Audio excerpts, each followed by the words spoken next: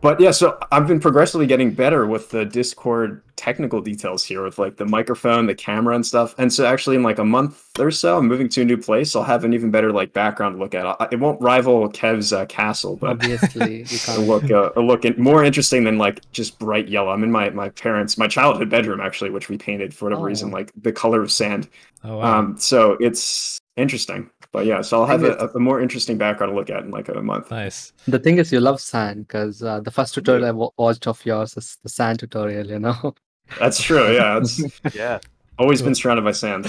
Well, if Oh, if, yeah. if we have background envy, I've I've noticed that Discord has a new beta feature. So uh Oh, apparently, what? apparently you could change the backgrounds now. I guess they were catching up with Zoom Oh. or something, but Oh, that's cool. Okay. Yeah. I knew about It's. I uh, want to try that immediately, How I do but I couldn't find There's- it. I Where don't- did you find it? I don't know if I've got like a beta thing enabled or not, but uh, basically by the bottom where you have the camera, there's like a drop down arrow, and then from there I can choose change video background. But I don't know if everyone will have that. Hmm. I don't see that on mine. I just see uh my different devices. Right? Okay. It's it's not perfect. I like it. The tropical background. Nice. Yeah. We'll, uh, I'll go back to normal now. Yeah, so I've been working remote from kind of all over the place. I'm back in Philadelphia now with my family, but I'm moving to uh, DC uh, finally, back Oh, to the right. city. okay. Um, I'm not going to be going back to work in person for I don't even know how long. They they still want us to be working remote, and most of the work I, I can do remote. I'm traveling in October to Florida for a spacecraft launch, but Mhm. apart from that, I'm just going to be working from my apartment. So I'll I'll be moving into like a new place. You going to the Cape? Yeah, it'd be my first time ever going there. I've never. I know you guys have both been to the uh, um, Cape Canaveral before to see like the visitor center and everything there. I've never been, so I'm excited to check it out. Wish it was under better circumstances, like not during a global pandemic when Florida's getting kind of slammed right now. But Oh, um, I, I- I know at least the center, we it's uh, still mask required vaccination. Uh, strongly encouraged. I'm vaccinated fully. Um, so I'm excited to see it, and I'm gonna be like busy probably 24 seven. I'm not sure if I'm gonna be able to like peel off too much to see stuff, but um, I've heard Cocoa Beach is nice. That's where I'm gonna be staying. five dollar pitchers there, so it's it's uh it's really good, and and the, the cruise ships, you know, come in all the time. So, well, actually now they're not, but yeah, I hear it's Yeah. wild. Okay. So Hopefully, we'll be toasting the success of this launch. We'll so see. so like the, there's a specific launch you're gonna go and see then. Yeah, it's uh, one of the missions I'm covering. Uh, it's called Lucy. It's going to the Right. Trojan asteroids, which are uh, Lagrange points in front of and behind Jupiter. Uh, and we're going to be going. It's a 12 year long mission, so it's a long time. I, I Mm. think the journey to get out to the first target is going to be like three years itself. We have to do a gravitational assist first, and then slingshot out there, and then between targets going to take like a year or two. So there's seven total targets, um, and then each one is kind of spaced out a bit. So it's going to take like a year or two to get between them, and we'll have like maybe a half hour at each one to take pictures as we zoom by really quickly. Yeah. Um, So it's kind of an insane mission that way. Um, so planning for it's been really strange, and then also um, the communications aspect has been weird too, because it's like how do you hold people's attention for 12 years? So I've been working on this like cartoon series, Oh yeah. uh, kind of more so marketed for like the next generation of scientists, next generation of Nice. engineers, um, for elementary school, middle school kids who will be growing up with this mission over the next decade plus. Um, so that's going to be kind of coming out slowly over the next couple weeks leading up to the launch as well. Uh, we have a coloring book associated with it. It's got like little puzzles and stuff in there. You can learn how to draw Lucy. Uh, so it, it should be fun. So we're going to be trying to make like a little poster series with like little postcards, kind of in like the national park vintage style for all the different targets with like little Lucy Explorer there. Um, so it should be fun, but it's yeah, it's been a, a long process, kind of getting everything together for that. Yeah, You guys are gonna cool. get your first picture before James Webb is up in space. I know, yeah, a lot of my coworkers are covering that too. They've been going down to French uh, Guiana for the launch. It's coming up, uh, you know, just a couple months too here as well. So that, God, hopefully that goes well. It's been Hmm. years in the making. They just I don't think finished it's- I don't testing, I think think, didn't they? Yeah, they just Yeah. officially finished testing and they're going to be shipping it, I think, pretty soon. Um, that is just so nerve wracking because it's just billions of dollars of Oh. very delicate equipment. Oh, if that goes So, wrong. yeah, I mean, it can't go wrong at this point. Knock on wood. It's it's scary. the company that's been building it has been doing a very very good job. So you know, everybody everybody rags on them because oh it's taking so long. Like no, it Gotta do it right. That long. It's taking that long because the people in there know what they're doing, and Yeah. they want it. To be, they want it to be a success, and they're not going to let this thing out the door unless it's actually perfect. Plus, there's been scope creep on this thing for years too. But Oh you yeah. know, I mean, I mean, They've been building like- it out where you are actually at Northrop uh, in LA area. Yeah, they're building it in LA, down in the in the South Bay. Yeah. So uh, yeah, at the uh, I believe at the space park facility. So yeah, they're they're um yeah, it's it's it's gonna go. It's it's gonna be good. I, I honestly, I'm. I'm I'm excited because I know that there are there's a line of astrophysicists that have already signed up for time on this thing. Once once it's out at, at you know L two and it's deployed and it's doing its thing and and we get those first pings back from it these astrophysicists already have their their their section of the sky they want to look at, and uh, the answers we're going to start getting back from this are going to be. Uh, I mean, it's going to change. It's going to change humanity. It really is. It's gonna be beautiful. I mean, Hubble already changed so much, and this is just like Hubble times a thousand. It's gonna be like just the the far the depth far back we can look and into uh, the solar system and beyond is just incredible. I'm so excited to see what we get from it. Yep. I'm just waiting for people to find new elements that we don't have in the periodic table.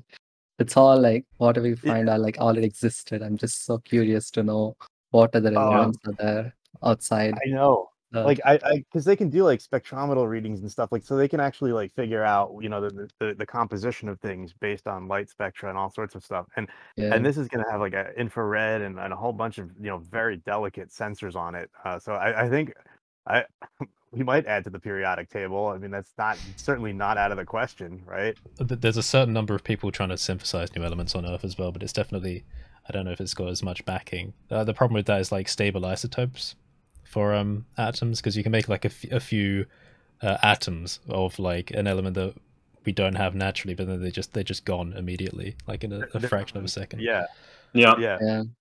Oh. Probably that's because of the atmospheric conditions on Earth, but yeah. Yeah, it's because well, I think it is because of the stable isotope problem. There's like a I think they call it a plateau of stability, especially for like radioactive elements and stuff. mhm. Where like Yeah. Yeah. if if you don't Uh. have a very very specific isotope, it's, it's just gone like immediately. It's gone So- forever. You have like Yeah. an, an extremely short half life. The whole the whole element's gone. It's gone. It's gone. Yeah. Uh, hi Arturo, by the way. Yeah, true.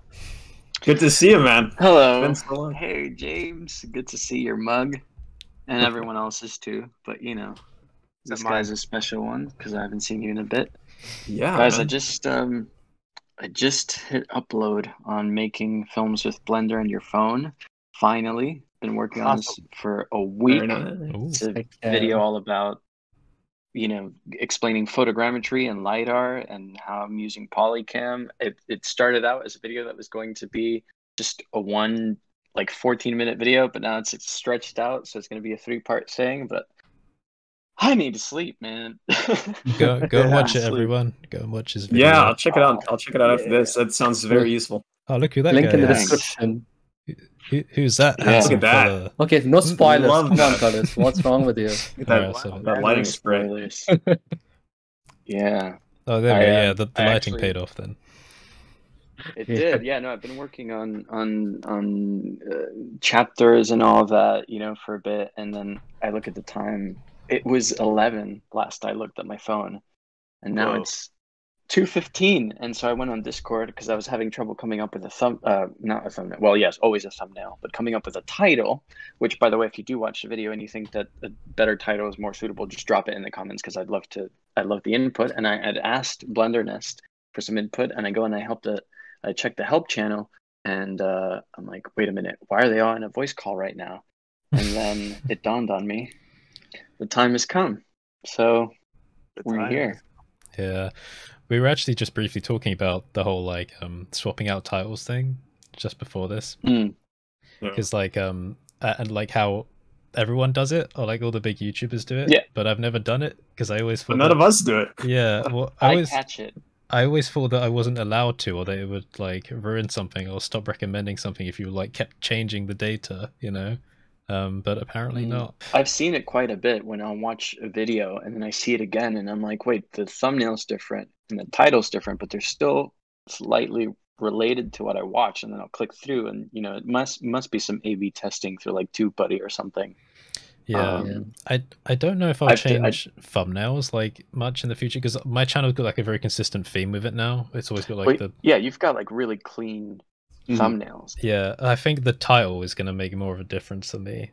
Um, because I keep trying different things and I'm kind of settling into a bit of a formula of like you know one capital one capitalized word and then like you know a few other things, but I don't know. Maybe if you I'll throw free in all caps in there with yeah, Yeah. exactly. Yeah, I, that's, that's what brings the views. I used to do Free that on, Blender. on on my mailing Free- list. I used to do it all the time. New free something. like yeah, Yeah. works Oh every yeah, watch the last video where you're talking about like how you amassed like an empire of people to email. Oh yeah, like that is clever, man. That's good. I didn't even think of that. That's a good approach. yeah. That's I, the uh, best way. I- The Zuckerberg approach. I think I held off on telling people Yeah. about that for a little while in the first year. I wanted to get ahead. I, saw, I never saw you used my do it that mailing way, list. but- It's yeah. pretty huge, but I never used my mailing list. Yeah, d- Andrew Price. I. I heard somewhere someone said that they had like what two hundred and something. 200k Yeah.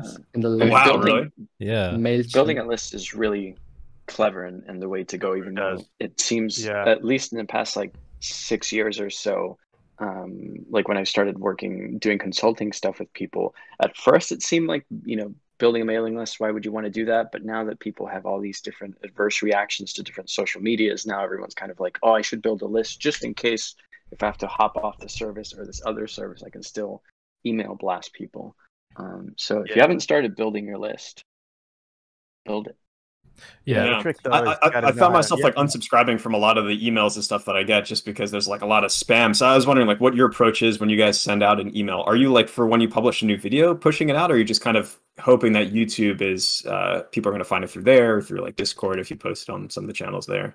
Well, um, for me, I, I I used to do it for like every video when when it started because I was giving away a package with every video, and I thought, okay, well, it's a Gumroad focused mailing list, so if I put something on Gumroad, then it's okay to share.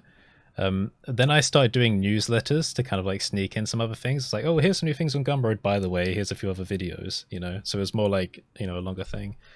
Then I kind of stopped doing it for a while, and I'm starting to do it again. Like the last two videos had demo files, so I, I shared it. But I don't think I'll do it for the next one because I don't want to overdo it too much. Yeah. Um, I've seen other creators that like will do a sale and they put out like five emails for the same sale, and I'm like, okay, I'm not gonna annoy people that much. But um, yeah. but yeah, I think there's like it really depends on your audience as well. Um, I've tried to kind of balance it out because I used to do like you know product announcements and sales on the mailing list, but now I think okay, well if I do them pointing to videos as well, then it kind of reminds people why they're on the mailing list, rather than just having it like just squeezing out like a very capitalist, you know, oh please buy this on this sale, please buy this and then buy this and then buy this. It's like okay, well here's something for you again. You know, here's some education. This is why you signed up in the first place. Um, I think there is probably like an art form to it, and maybe a bit of a science behind not peeing people off. Should we say? Uh, I think yeah, like the weekly newsletter seems like a, the best approach because then you can kind of put like a couple things in there, not you know have people kind of on a timeline expecting the email too. It's like oh, it's Saturday morning, I'm going to be getting this email from this creator with like the weekly rundown of stuff, and as opposed to like oh, randomly at like two in the morning, I'm getting an email thirty percent off flash sale. Like I think that seems to be kind of like a turn off is those random unexpected emails. It's like Curtis, why are you hitting me up like with a you up message here for your sale, thirty percent off? And I've built lists before in in different spaces, not not in Blender, not in 3D at all. Um, and and it's it's a trick because you your mail providers, your your mail service um, providers, you like in order to stay on people's radar, you kind of got to keep pinging them because so so many things they're, they're just we're getting hit by so much advertising all the time, all the time. So many messages, so much social media, so much crap, and um, you, you kind of got to stay on people's radar. So I've seen people who mail every single day, and Mm. you're always going to get the drop offs. But the point is, when you have an email list, your open rate, your first your first few emails that you send out because people are jazzed, they just joined your list, they're they're like expecting stuff from you. Your open rates are pretty high on those, but then they drop to like fifteen percent. So for every email blast you send out, you're getting like fifteen percent opens.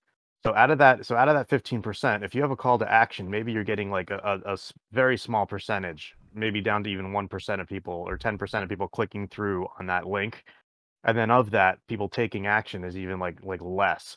So it's it's diminishing returns as as the you know as as the, the they go down the the pipeline, and uh, you know I've seen the people who have a lot of success mailing every day, but the trick is if you do that, you start getting spam complaints. And if you do get too many spam complaints, then your service provider looks at you and shuts you down. So it's a big, big balancing act. So I probably wouldn't be sending out emails if Gumroad didn't let you, because Mhm. when you look at things like Mailchimp, and even like um, Squarespace has its own kind of mailing system, but you have to pay monthly for those, and even then you can only send out a certain number of emails. Like it doesn't matter what size plan you have, like there's always an upper limit for it, which isn't really something you want to hear if you're trying to like, you know, grow an audience into the future. You want to think, ah, if I've got 10 million, you know, people signed up for it, I want to be able to, you know, message all of them. Um, Gumroad doesn't really have those limits because maybe it hasn't thought about it yet, but um, I'm glad it doesn't. So when you upgrade, like, because you can send out like four emails a month, I think, to your audience on the free version, but then like unlimited on the upgrade version. And if you if you're making money with Gumroad, it pays for itself anyway. So why wouldn't you? Um, but it doesn't have those limits. Like you can send out like to any size audience that you want, and you're not Yeah. paying for like a separate mailing service. So it's it's too good to be true in that regard. So I don't think I would really be I don't think I'd be using like a mailing list on like Mailchimp or whatever if that wasn't a thing. Um, so that's something to keep in mind. I'm curious to know how often this has happened to you all. So I just, uh, like I said, I just released this video. I did the rounds, posted on Twitter quickly, and as soon as a Twitter feed refreshes, uh, there's a tweet from someone mentioning that one of the cameras that I was actually going to talk about in the second part of this video, the team is now shutting down and they're no longer doing anything with the camera. So how how often does it happen to you all that you're working on something and then it either becomes obsolete or you have to change halfway through? And uh, yeah, I'm curious Yeah, about I those s- moments. I struggle sometimes with like broken links and stuff. So sometimes I'll like make a video and I'll link like the assets or whatever that I've used, and I'll sometimes get messages from people like, "Oh, that like image is no longer available or it's no longer free or something." So sometimes I'll just go through and like in the description we'll post like kind of a disclaimer about that, be like, "Oh, like this is the new link to get this thing," or I'll update on my website where I've kind of got the stuff hosted there. But if it's in like the video itself. Uh, if you haven't, it sounds like you haven't released it yet, so you can kind of adjust, I guess, accordingly. But if it's already out there, I mean, It's kind of tough. Like maybe put like a one of those call cards or something in it, like the Hmm. little call out cards, kind of just say like, "Hey, like this is not a thing anymore." Or you can also edit out portions of the video too. So one time somehow like my um I was showing my desktop. This is like super embarrassing. I was showing my desktop uh for like a tutorial on Blender, and somehow like my driver's license like appeared like Oh, no. in there No. and it was Oh, like an no. hour long video that I recorded, and I like hadn't, I guess, like scanned through. Like I was kind of like just brushed through. I'm like, oh, okay, it's probably good. Like I watched through most of it, but like the 47th minute or so, I don't even know when it was, some like crazy minute in it, for like a, like a fraction of a second, my thing was there, and someone like wrote in the description like, I got like full HD view of your license, and luckily I just posted it, so like 10 people had seen it. So I went through and just like edited out that portion. You can like trim in YouTube, and it just like Oh, refreshes the video, and as if it just cuts. So if you watch it now, it just like kind of skips like six seconds, and it's like, but that scared the hell out of me. Um, Yeah. it was just like really bad. How So, did he even yeah. like exactly go to that point? Like, you know, within guess- that limited time. they had watched the whole thing through, I guess already. It was like a longer tutorial, so I expected. Usually, when I post like an hour long thing, I expect kind of over the course of a couple weeks, people kind of digest it. I'll get comments like, "Oh, this is great. I'll watch like the full thing when I've got time, like next week." And whenever I get comments like that, it's like, "Okay, yeah." Um, so I was expecting people to kind of just slowly parse through it. I didn't expect someone to like follow it end to end, like I don't know, a minute after I posted it. So yeah, that was it was a good catch that it was that early. Um, but yeah, I guess that's an answer for that. If it was like a section that you could easily cut out uh, without kind of losing too much of the thread of your video, you can just trim it that way if it's already posted. Hmm. Yeah, that's quite- scary. I'm quite paranoid about that. I like whenever I'm editing, I, I I will watch the video like five times or so um, before I put it out. Yeah. but but not not like in a row. I'll do like like the first pass, which is all just trimming down, then to keep an eye out for stuff, and then like every time I do another kind of editing pass, I'll just keep an eye. on. There's always something that I want to change, but like I've only had it once where I've had to edit a video, and it was when like something I said, like a piece of information, was no longer right. So like about like the pricing of something, for example. I Can't remember exactly what it was, but I was like, okay, well, this is really misleading now because that's changed, so I'm gonna snip that out and got rid of it. Um, but yeah, there's been a couple of occasions again with like files where someone changes or deletes something or like changes the name of a product and then it breaks links or whatever. But I think there was like a matcap one where I had like a link to a bunch of matcaps and then the person just completely removed all the files. So everyone was like, "Where's it gone? Where's it gone?" So Oh, yeah. God. I think Yeah. most recently though, you know, Pierrick um, came out with his animation course. Um, so he was talking to me up until the release, and he was kind of keeping me updated on how it was going. and it, like it's it's really cool. You should go and check it out. Um, so I had like a video I was going to do where I was to announce that it was going to be coming at some point because he had already put out like a like a teaser video. So I was going to do like a news one that's like, oh hey, this is coming out. But then just as I was about to release that, he sent me like that a whole host of new information about it, and I was like, all right, so I can either put that one out and then very quickly make a new one about the release with all this cool information, or I can just delete this entire video I've made and then just make a new one. So I did that. I made a new one instead, and to be honest, that was much more worthwhile. Um, so yeah, because like it kind of just introduced the whole thing in one big burst, got people excited, and then so sometimes, very rarely that'll happen, but yeah, sometimes it's like, oh, here's a bunch of information, throw away everything you've done and just do something new instead. Yeah, well, the same thing happened That to me course. once. Um, like um, I made this amazing tutorial that I thought would be helpful for everyone regarding nodes, and literally the same video was posted, like you know, same video as in like the whole editing is done, and someone else uh, actually made a tutorial on exact same topic with the same result. So I had to delete the video out from my hard drive. Oh, I was going to mention about that that animation course, Alive. It is it's it's a great course. I haven't finished brilliant. it, but I'm I think four or five chapters in and really really loving it. Not an ad, not sponsored, just an honest Yeah. review. he uh, he spent Yeah, he spent a happening. really long time on that, like the course wise as yeah, far as you things can go. tell. Yeah, he um because there was a gap in the kind of Blender educational market because.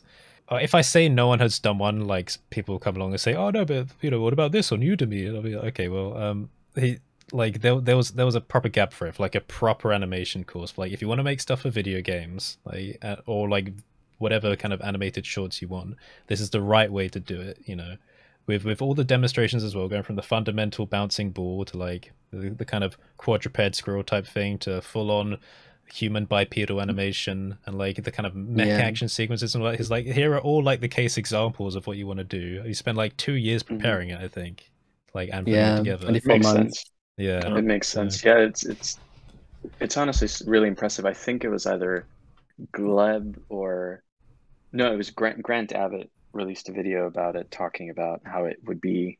He he thinks it would be the go-to animation course, Hmm. and that's really what you know. Because I'd been curious about it. I'd seen some of Pierrick's work as well, and um, was pretty excited. So when it released, I um, I was like, let's see what people are saying. I saw that video by Grant, and I'm like, okay, let's check it out. And uh, I think it holds up. I would say the same, and I think it actually it's it's either.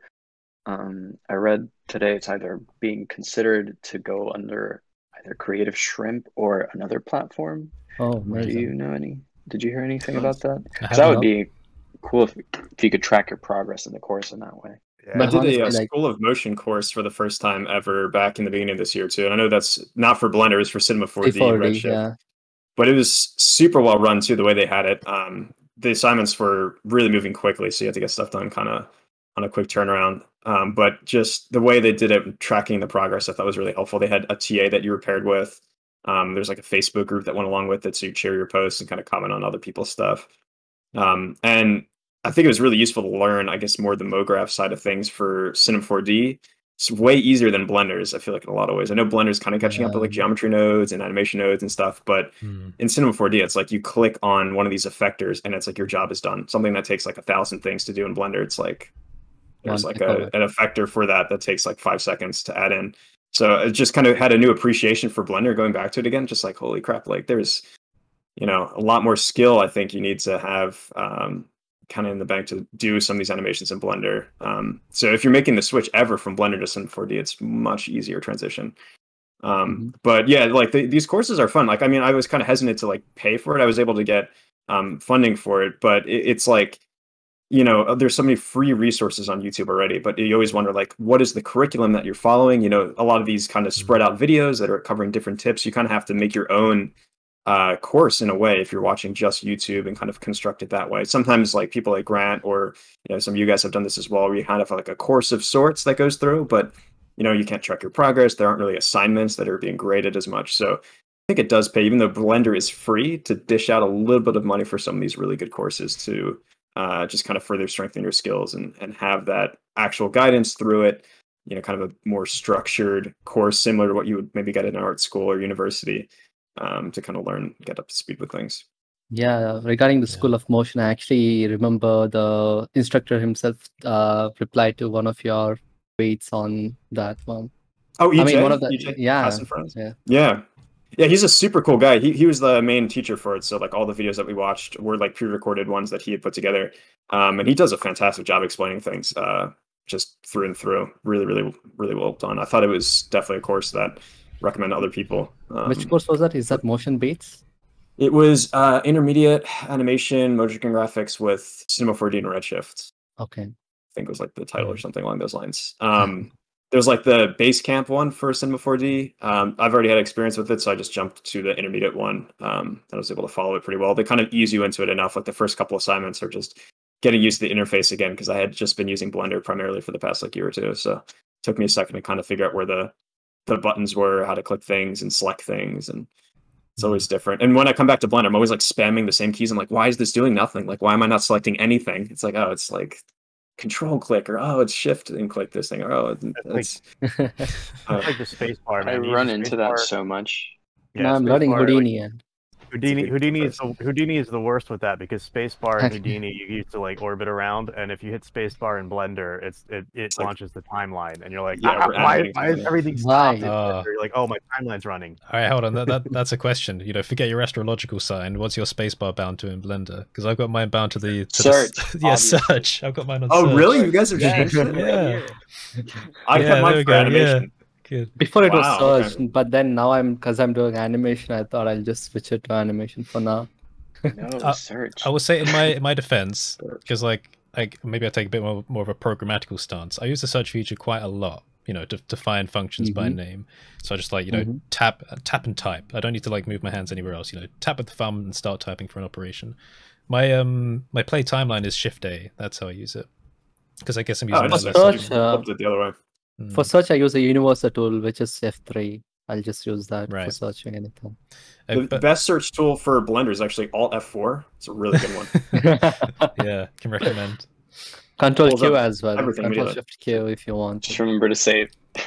yeah it, it is funny when when teaching people because i've like tutored a couple of friends um whenever i catch myself saying oh just press sp- f3 press f3 and then like type this and then do that. You have to like kind of memorize everything that you changed about blender. So when you like teach people about it you think oh god okay. I've got like a checklist of all the things that i changed now so i can kind of keep a track on it. So oh, that's exactly why I don't think I'm gonna do tutorials like step by step anymore because I'm just gonna show the workflow of everything in my upcoming tutorials. Yeah But if I go step by step, then I'm I have to make a course on every shader that I make. I think. Yeah, that's what I'm doing. Like I'm, I'm like, I used to do, you know, I was doing step by step by step, and it was just taking me forever to do a video, and I was like, I, and you know, it, it puts it out there, and eh, eh, if, I don't know, I, I'm so much happier just doing like, hey, this is what I did. you know? yeah I like the story format. Kev. yeah, You're doing amazing. Don't Thanks, stop, man. please. Yeah, I just I'm just gonna do the story format. I, I I'm so much happier doing it. Like for for courses, like the courses that I'm gonna do, I'm gonna obviously those are gonna be step by step, you know, labored explanations and all sorts of stuff. Yeah. Um, for YouTube, I'm like, you know what? YouTube's just people just care about entertainment on YouTube. I mean, like there there are some learners out there, but it's just entertainment. And if you want to be successful on YouTube, it's just I mean, everything that just takes off is entertainment based. I'm like, whatever. Like, if Yeah. you want an And audience, and you also YouTube- still learn stuff from it too. I feel like with those story driven things, like I think especially for people who are a little bit more advanced in the software too, uh, as opposed to like a step by step tutorial, just kind of seeing someone's workflow, how they approach the problem and work through something is I think way more helpful in a lot of times than just step by step. Okay, what button do they click now? Okay, how do they do this?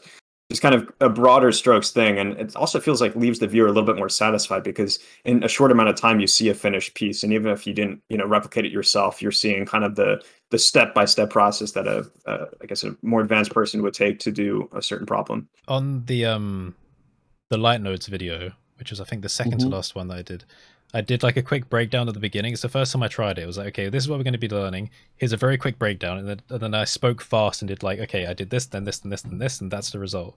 And then i went into like the long tutorial so and then did it all slowly. And um people really appreciated that. Because I, I Yeah. there was once person that said, um, "Thanks, I appreciate that because I usually like finding things out for myself, but just having some direction." It's like, oh, actually, yeah, that's something I never really considered before. Some people actually enjoy the process of like trying to figure it out if they're like you know intermediate enough with the software. So Um, yeah, I guess it's kind of a good thing to put in, but it's not always appropriate for like every tutorial. Sometimes Yeah. you're doing something that's Yeah. like too simple to like do a breakdown for because it will only take like half a Mhm. second to explain to people like in a short way. Yeah. So today we're going to be doing this with nodes, and then that's it, you know. So, but yeah, but about um course content on YouTube, I think YouTube is actually missing an opportunity because YouTube is kind of designed in a way that isn't really suitable for like multi-part courses anymore. Because uh, you know, people, everyone starts the first video and then people skip to the end video. Like, very rarely will you get people watching the entire series all the way through, and it's not Yeah. great for analytics, especially if you're spending so long putting out like, hey, here's part six, seven, eight, nine, and ten, and whatever. Um, but you know how YouTube's been playing around with like membership systems now, where you can pay for videos. They still kind of appear on the channel page, I think, which I'm not sure if, if that's a great idea or not. But YouTube has like the store tab for channels, where you can like put merch and stuff. Why don't they get into the educational business, where like um, YouTubers can sell courses and they appear separately from the videos? Because they could take a cut from that. It doesn't have to be too much. YouTube Yeah. is the perfect platform for it, and then you could track your progress on there. So I don't know why YouTube hasn't kind of dived into Done the market that. yet. Um, I know. I, would- I would I would take advantage of that. I would I would make courses and sell them on YouTube. That would be great. Like because the, the audience is already there. Yeah, exactly. Whether or come not YouTube. whether or not Come on. I, I- and and I, I wonder and and, I, and I've spoken you know time and again to people about this whether or not YouTube is a viable education platform. I learn from it because I know what I'm looking for. You guys do, but how much of the audience on YouTube is there just for entertainment? So if you can like peel away the learners from that, then awesome. I, I think that's a great you know a great idea because the Yeah. audience is definitely there. The people who are because there's a crossover too. There's not just you know they're not just like there for entertainment and not for education like you know people who see something and go oh i'd love to learn that oh he's got a course okay i'll check it out so i think in the Yeah. volume you can in the volume you can you can um, you can peel back the learners from that which is really cool it's just but going back to the, what we're talking about with with the educational step by step versus you know the explainer stuff it's like the, the when I, whenever i do the the the step by step educational stuff it, the videos go nowhere like they're Mm. just they just die on the vine like even if it's even if the interest is there at the start that graph that shows you know audience retention over time it goes to almost like zero at the end you know and sometimes it drops off and it goes to zero halfway through people get bored of it or they're you know they're distracted by you know the the, the next tiktok video that shows up in their recommended feed so it's it's you know youtube is just i don't know it's just kind of diminishing returns when i do the step by step stuff that i actually like doing but i'm i'm actually more happy just recording myself doing something and then going back and saying you know hey this is how i did it but a but lot of it's yeah, completely random at times too. What what does well and what doesn't. I feel like sometimes like just something will just get knocked out of the park. It just does super well. One of these kind of step by step things, just because it really resonates with some community or it's embedded somewhere, um, like on some forum where people just find it en masse from there and just can get through it. I know. Like my last Yeah. video though that that did really, really well was that meat monster video. And I think it was because A, it was tapping into something that people can recognize. And uh and, Yeah. and and B, like I just kind of explained it and maybe I just did it the right way because the next video after that really didn't do anything. And I was kind of from like from from his dark materials, but then I'm like, how many people actually watched his dark materials? Like it was an awesome show, but it was on HBO and HBO, you know, not not a whole lot of people have HBO. Um but by the way, Kev, yeah. thumbnail was amazing for that video. By the way, that's why I probably I think it Oh, has the for- best thumbnail on the channel. It probably does. You're right. I, that Yeah. that thumbnail is really good. So, uh, you know, um, but I, it, you're right. It's it is kind of random, and you got to kind of figure out what what is making it. And like Daniel said last week, it's it's a million little things Hmm. that that Million add little up. small things. A million little small things that add up to the success of a YouTube video and a channel. And Yeah. when when you, when somebody's pressed for time, um, keeping the channel going, like for me, is just in, insanely difficult um, because I, I yeah, I've been lucky enough to keep getting hit up for freelance jobs in addition to my day job. So I'm like, well, if YouTube, if people would watch the videos and I would get that sweet AdSense money, then I could take on less freelance. But that's not the case. So I have to go where the money is right now because honestly, I have bills to pay and I have food to put on the table. So I got to take on the freelance. So constantly making videos, it has to have a return. And for me, the only way I can do them is doing the explainer videos now. Yeah. That Hmm. makes sense. I mean, uh, again, when you make a course and you do it in the explainer format, no one is gonna like it. And if you make it edutainment, then again they'll be like, they won't, they might not like it.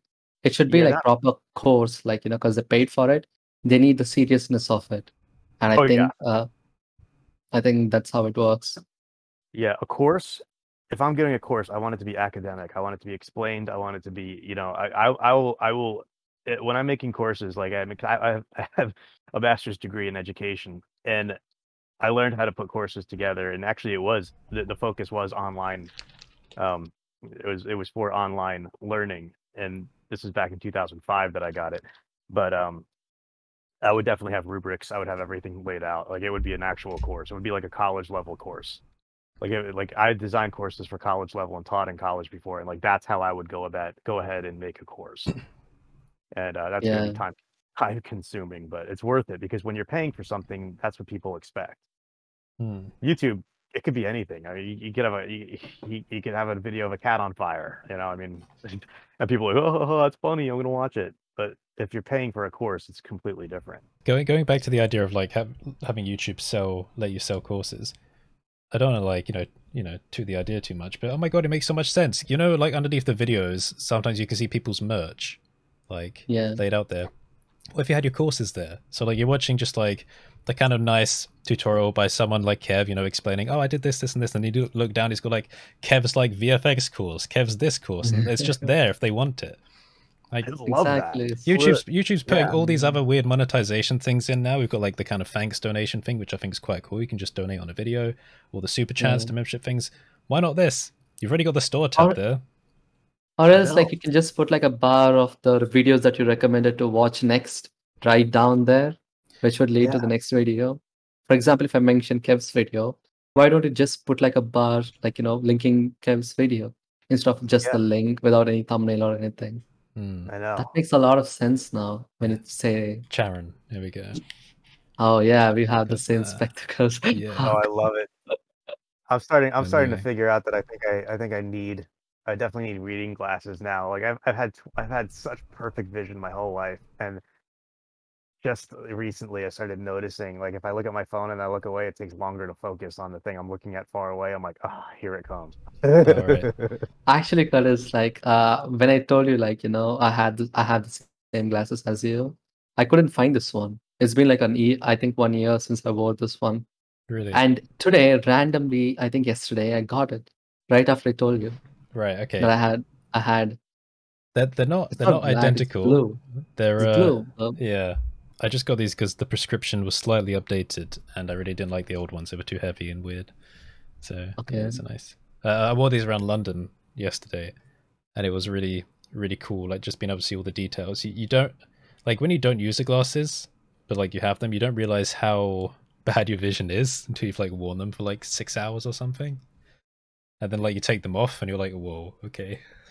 I don't generally like use specs when I'm on calls. Like you know, when it's like arm length distance, I just I just don't use it. Yeah. But when it's like really far, like when I have to watch the television, then I have to use it. Or else it's just going to be like five r- pixel radius blur. These were supposed to be how like these are supposed to be for driving to start with, so they are like kind of distance because I'm short sighted. But uh, yeah, I'm I'm starting to I guess use them more around the house now anyway. Uh, it's more like I mean, you know, the higher power you need, it's like real time depth of field with your eyes. I was just No. thinking it's a random thought. Yeah, Like you can only see things which are really close to you, but then everything else is blurred. see Yeah. through my eyes. It's not gonna Oh, make any no. difference. Those are like Uh, it's just prescription. distorting, Yeah. yeah. They Let- um let me see what happened. yeah they're not that strong, but they actually make a huge difference for me.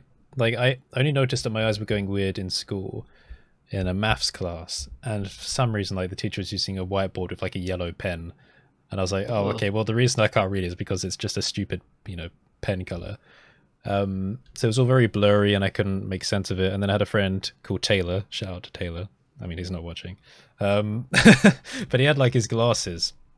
And whenever you try on people's glasses, it's always super blurry. But I tried his on and I was like, oh, no, oh no, I need glasses. Because suddenly everything was super clear. And I was like, oh, okay.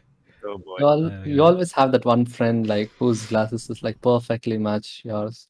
Yeah. And I had that one when I was in ninth standard, and that's when I knew I have to get glasses. I'll say for the people that that uh that are watching this that don't have glasses but do do a lot of computer work. I I picked up years ago. My wife um she picked up for me these uh Gunnar uh screen glasses. They're basically like blue blockers. They block the blue light coming off the screen Mm. and uh, uh, my eyes thanked me for so long. I, I'd wear them at work because I'd be staring at these computer screens all day. And I think that was even back in the transition between CRT monitors and the LED monitors, and it made such a difference. Like my eyes weren't, they weren't, I, I wasn't, you know, they weren't dry at the end of the day. They weren't, you know, painful. It was, it was awesome. They, they work really well. Is that the ones like that when you expose to sun, it it changes to like uh black color? No, those are like the the, the color changing Transitions. Lenses. These transitions, Mm. thanks. Yeah, Okay, okay. Uh, these are more like they look yellow. Mhm. I'll, I'll wear them. I'll, I'll wear them in the next time I have my face on camera next week. Um, and I'll show yeah. you. They're, they're they look like they look like uh like like the the, the glasses Bono from U2 wears. Oh, yeah. Yeah.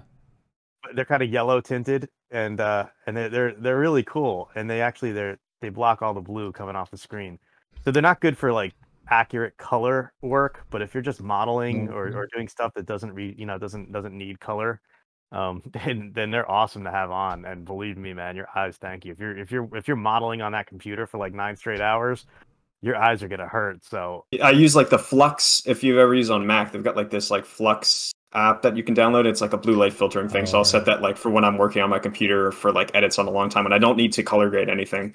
Um, cool. or I'm just doing animation or something. I'll just have that on, so I'm not staring into like a just white I'm lights actually, all day. I al- Yeah, I- always have that thing on, like you know, even on Windows, it you have that feature. When you go to notifications, it's called night Dark light. mode. Uh, I mean, it's night light. It basically makes your screen a little bit of yellow tinted, you know. And oh that's I, I think I, I mean, it's always on for me. That's exactly why my colors look always wrong. Oh! I should change Uh, it. Yeah, I have to toggle it on and off when I'm doing color grading, but it's always Oh, yeah. insane when you do toggle it on and off. Like, what if you're looking at it for hours and then you turn it off? It's just like you realize the the luminosity change is so drastic. It's incredible how much brighter the blue light is on the computer. Oh my god! Uh, I'm always just yeah. like blinded initially when I'm looking at it when I Mm. turn it back on again. This, yeah, uh, you like that. You like that. Like that scene of uh in, in Terminator 2 where where Sarah Connor's holding onto the fence and the nuke goes off and all of a sudden she's like blown oh away. my god, that no. scene! That scene was tra- Yeah, that scene was traumatic. yeah. It so was.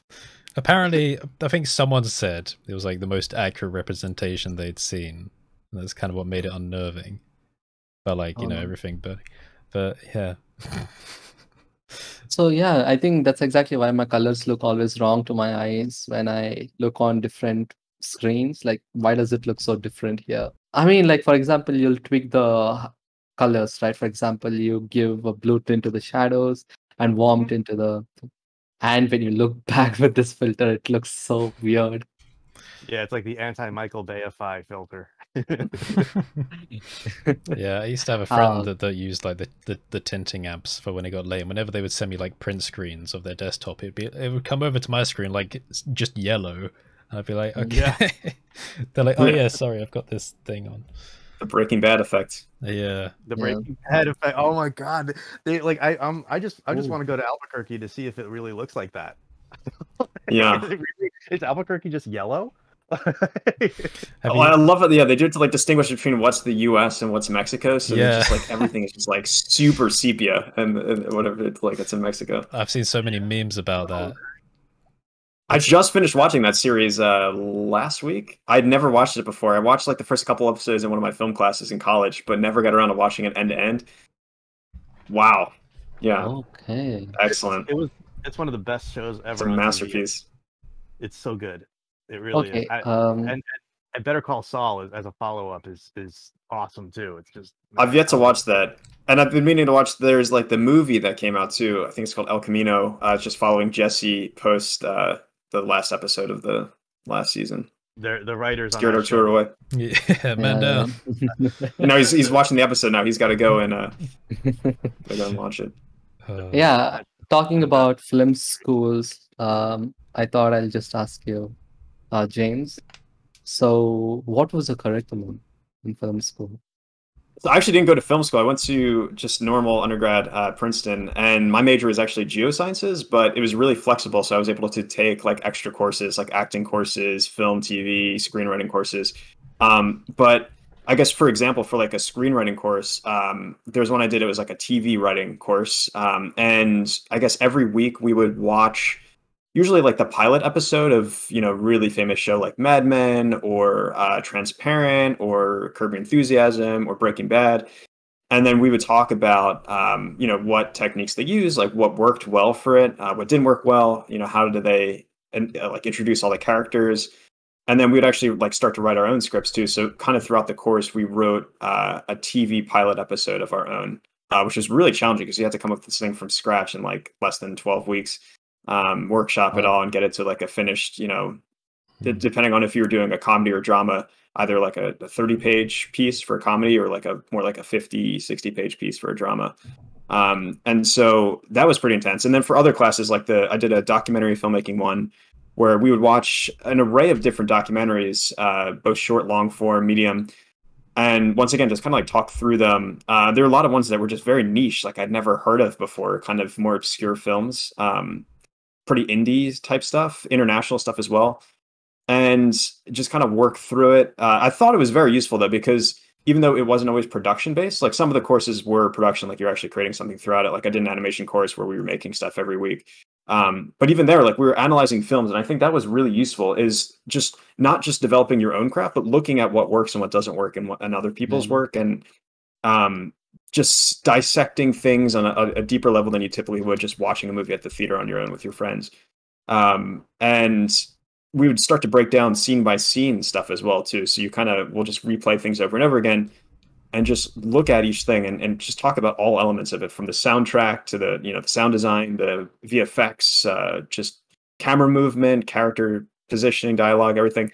You just talk through every aspect of it. So for me now, it's really helpful kind of going and doing my own productions because I kind of have that data set to focus on. I've got films that inspired me from those courses that I've bookmarked on my computer, short things as well, um, that I'll kind of reference as well if I'm trying to develop a certain technique for my own work that stuck out to me from my many watches of these things before. Um, Yeah. So I thought that was really useful. I think it's also helpful to get on the other side of the camera too. So, I, like I said, I did some acting courses as well. Um, so I now, I guess, have like a better appreciation for what actors and actresses need when they're being directed to. So you want to know, you know, where you should be in the scene, how your character should be playing, you know, how the the I don't know how you should be saying something, even the pronunciation. So it's helpful to uh, have the perspective when you're a director as well, when you're trying to coach these people through a scene or kind of work through that, to have that background Yeah. as well, to be able to act it out yourself and know exactly how you want them to deliver the scene uh, for you as well. Hmm. So I thought it was really useful. I, I think it's not for everyone, um, but you know, it's also certainly not cheap too to go to some of these schools. But uh, if you can swing it, I, I really do think it's a useful thing. I know a lot of people say like, oh, like I don't know, film school is useless, like education beyond high school is useless. I really think it's what got me to where I am today. It was was going to undergrad uh, and having all these experiences and just learning how to think. I think is the biggest thing. Even if you're not learning like a hard skill, always just like the the thought process of doing research and understanding something on a deeper level, having really meaningful conversations is incredibly valuable. And I don't think you can put a price tag on that. Um, Yeah. Or really teach that any other way. Yeah, I agree. A, I've been like researching about film school. Film schools has an mostly VFX inst- VFX colleges from for my higher education, which I thought Mhm. I'll choose in VFX. Uh, I'm kind of confused to choose which. Uh, I mean, it's not going to be in India for sure. I'm going to like come out of uh, to states probably, and the US? um, yeah, um, uh, that's my Oh, plan. I'm writing my. I'm taking my IELTS next in 15 days, to be honest. Okay. Uh, I'm going to like um go to write the IELTS exam, and then based on the score, I mean, I saw all the top colleges. The score is pretty decent, which is like do like up reachable uh, with whatever I know at the moment. So um, after that, I have to choose the college. Uh, I have to apply for like at least four or five and see which one I can get into. The one thing which I was completely scared was um, I'm going to be competing with people who have done art for the whole life, and I just started like prior two years or something. So I need to have like a really strong portfolio and motive Hmm. to get into it. So Yeah. I'm taking time off of all stuff, you know, my own. I let, let's say I'm taking a freelance, uh, but then other than that, I'm not thinking what I am capable of doing, like what I want to do, but then look at a broader perspective of what can be done. Um, like you know, if I had this opportunity to become a VFX artist, should I take it? If I take it, will I like it? So thinking of different career paths because I have like you know I do want to become a 3D generalist. That's like my long term goal. So you know I can start anywhere, but then specializing something in a like you know in a VFX school is some is uh what I want to know. And then for every single I mean because it's masters I can I can only take one career. And mostly I'm a material artist, so I could take a material masterclass, master like you know masters, but I don't think I need to. I mean, I it it sh- it might sound stupid, but then maybe if I work a little bit more on me, I might reach uh, the goal that I think for a material artist. So I I'm mostly thinking of either VFX or a lighting artist, either Hmm. these two. So it's it's quite I'm bal- I, I'm I mean you get it, like you know. I'm quite confused at the moment, but then I think I'll figure it out. It's like choosing a render engine. Like everything is good. Which one should I choose? It's I think a good problem to have, eh, and I don't know if you should necessarily box yourself in so early on too when you're just starting out because you might not know what you really like. You might like a whole bunch of different things. and when you actually get on a production for like a bigger company, Yeah. um, you kind of see what works and what doesn't work. And unfortunately, sometimes you do have to choose earlier than you'd like uh, with these things Yeah. and kind of box yourself in. Um, but yeah, it's nice. Uh, That's the good thing about a lot of these schools too is they let you explore the different courses and you can Yeah. kind of have a more generalist experience if you wanted to go that route. Uh, just kind of sample from a whole bunch of courses uh, beyond the specific track you're on, which is really nice. Yeah, I mean, mostly the, I mean, I was looking at all the catalog. I mean, most of the people say you can learn it all by yourself, but then, yeah, I could, but then I need the contacts to get into Mm. like production company. Like I did, uh, I can, I can learn, but then I won't have the production experience.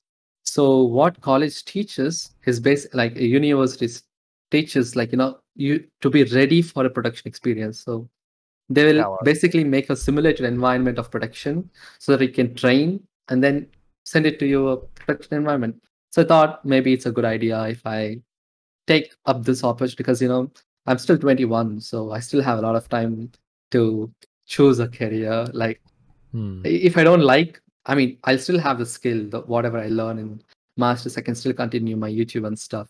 So I just want to explore now. So I thought it's a good idea for me to like go to uni. Though most of people would say you can learn everything by yourself, but yeah, There's ways to learn stuff on the job too. Like I know some of these companies offer like apprenticeships or internships and stuff that you can do, um, where it's like a little bit more higher stress, I guess, but not fully like into the production yet.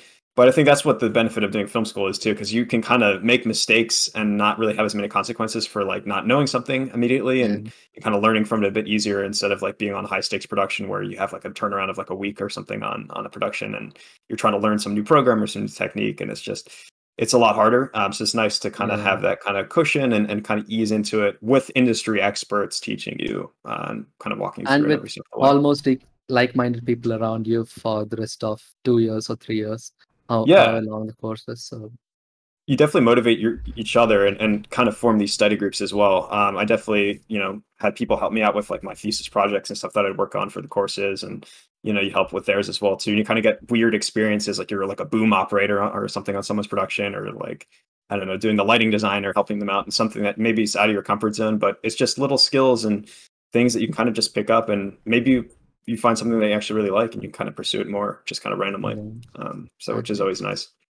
I, I mean, I never thought that I'll even like touch Houdini anytime soon, but then um, randomly out of nowhere, I was talking to Kev, I was talking to Curtis, and I was like, I am doing Blender, but then it's going nowhere. Like, I mean, it's good enough, but then when I got reached out by a company for a VFX, like a VFX studio, uh, when they asked me what you know, I was like Blender. I don't know any other software, and they're like, you need more than that. You know that, right? I was like, I, I, I know that I need more, but then I never thought that I'll get this opportunity soon. So, so that's when I thought, okay, what else am I gonna learn? So I thought, let's learn Houdini.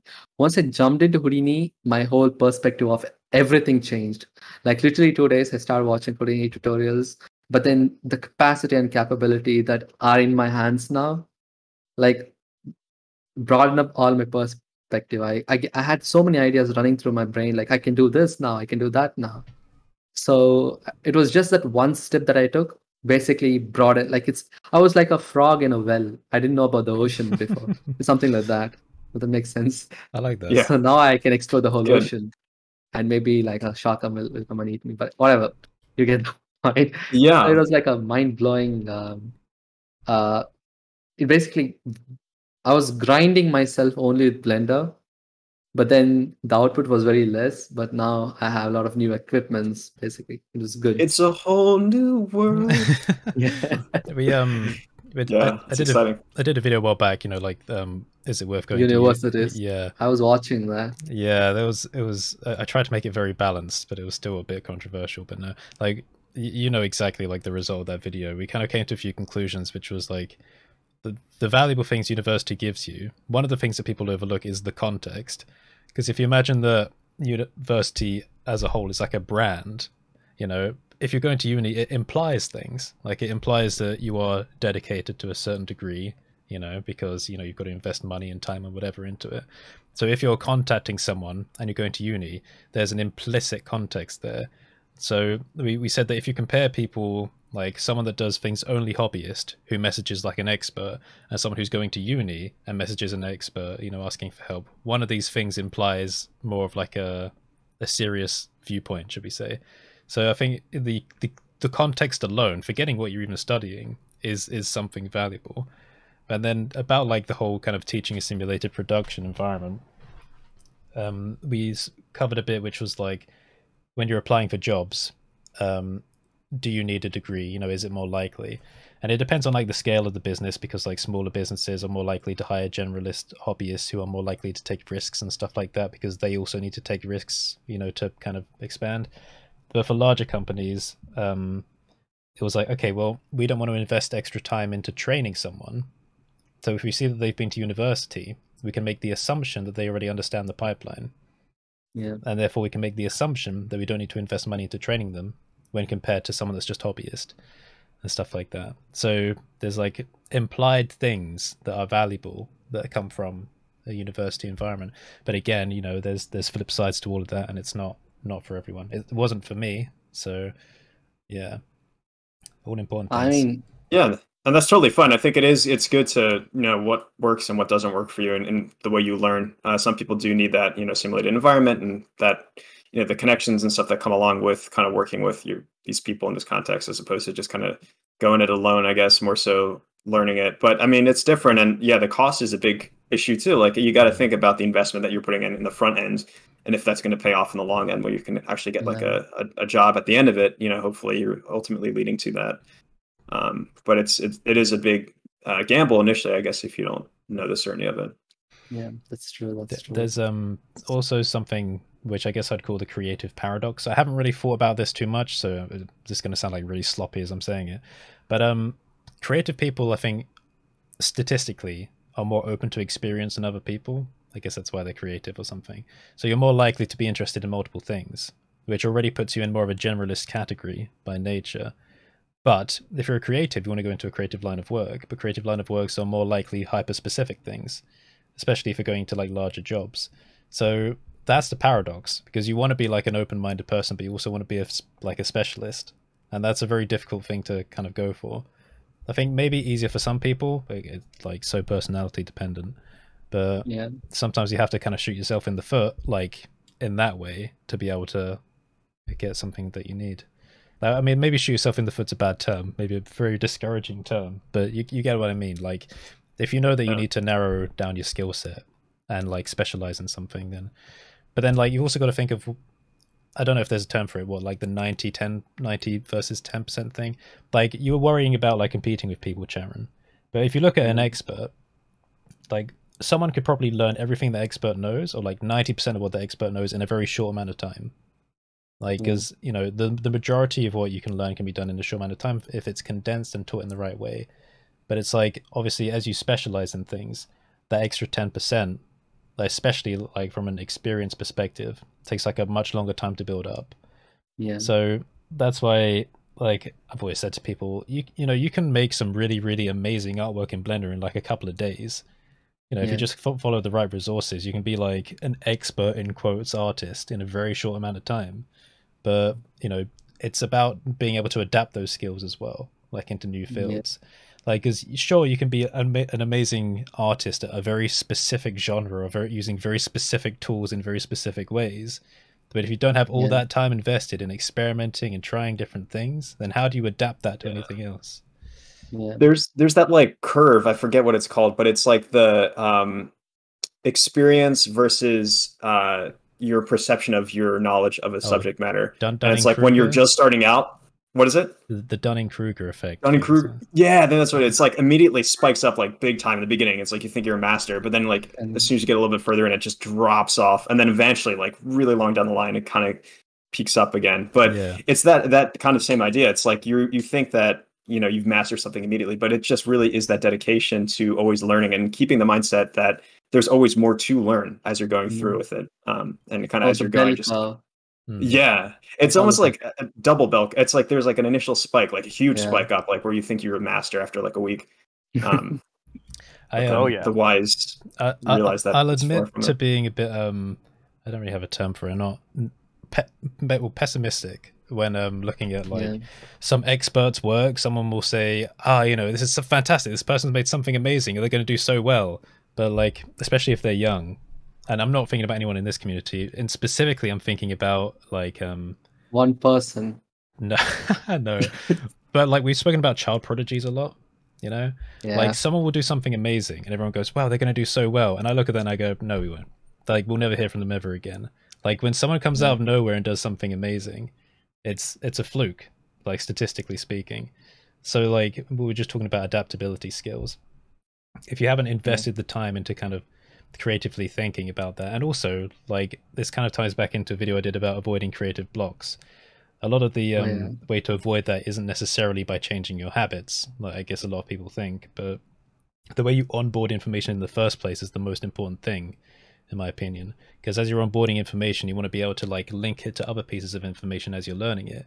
A lot of people learn things in isolation and then they go oh well how am i not coming up with new ideas? You know it's just it's not melding together it's because you never thought about it in that way to start with you've put everything in boxes Yeah, it's useful as well. Like what, with the tutorials, kind of going back to way earlier when we were talking about like you know these step by step versus more process based ones. I think the process based ones are interesting in that way too because when you're just doing step by step, you're just kind of like looking through like a recipe, and you're not able to like necessarily replicate that or, or kind of iterate on that on your own. So when whenever I like I make some of these videos too, and and I've seen you guys do it as well, just kind of encouraging people to play around with the software and see hmm. what they can do. Like even like pause the video, like just stop the video here and then just go through and, and just experiment and see what you can do. I think that's the best way. It's that struggle aspect of it. yeah You're kind of hitting walls and, and trying to learn how to adapt around the problems as opposed to just, you know, reading through like a list of, okay, step by step, I do this and this and this.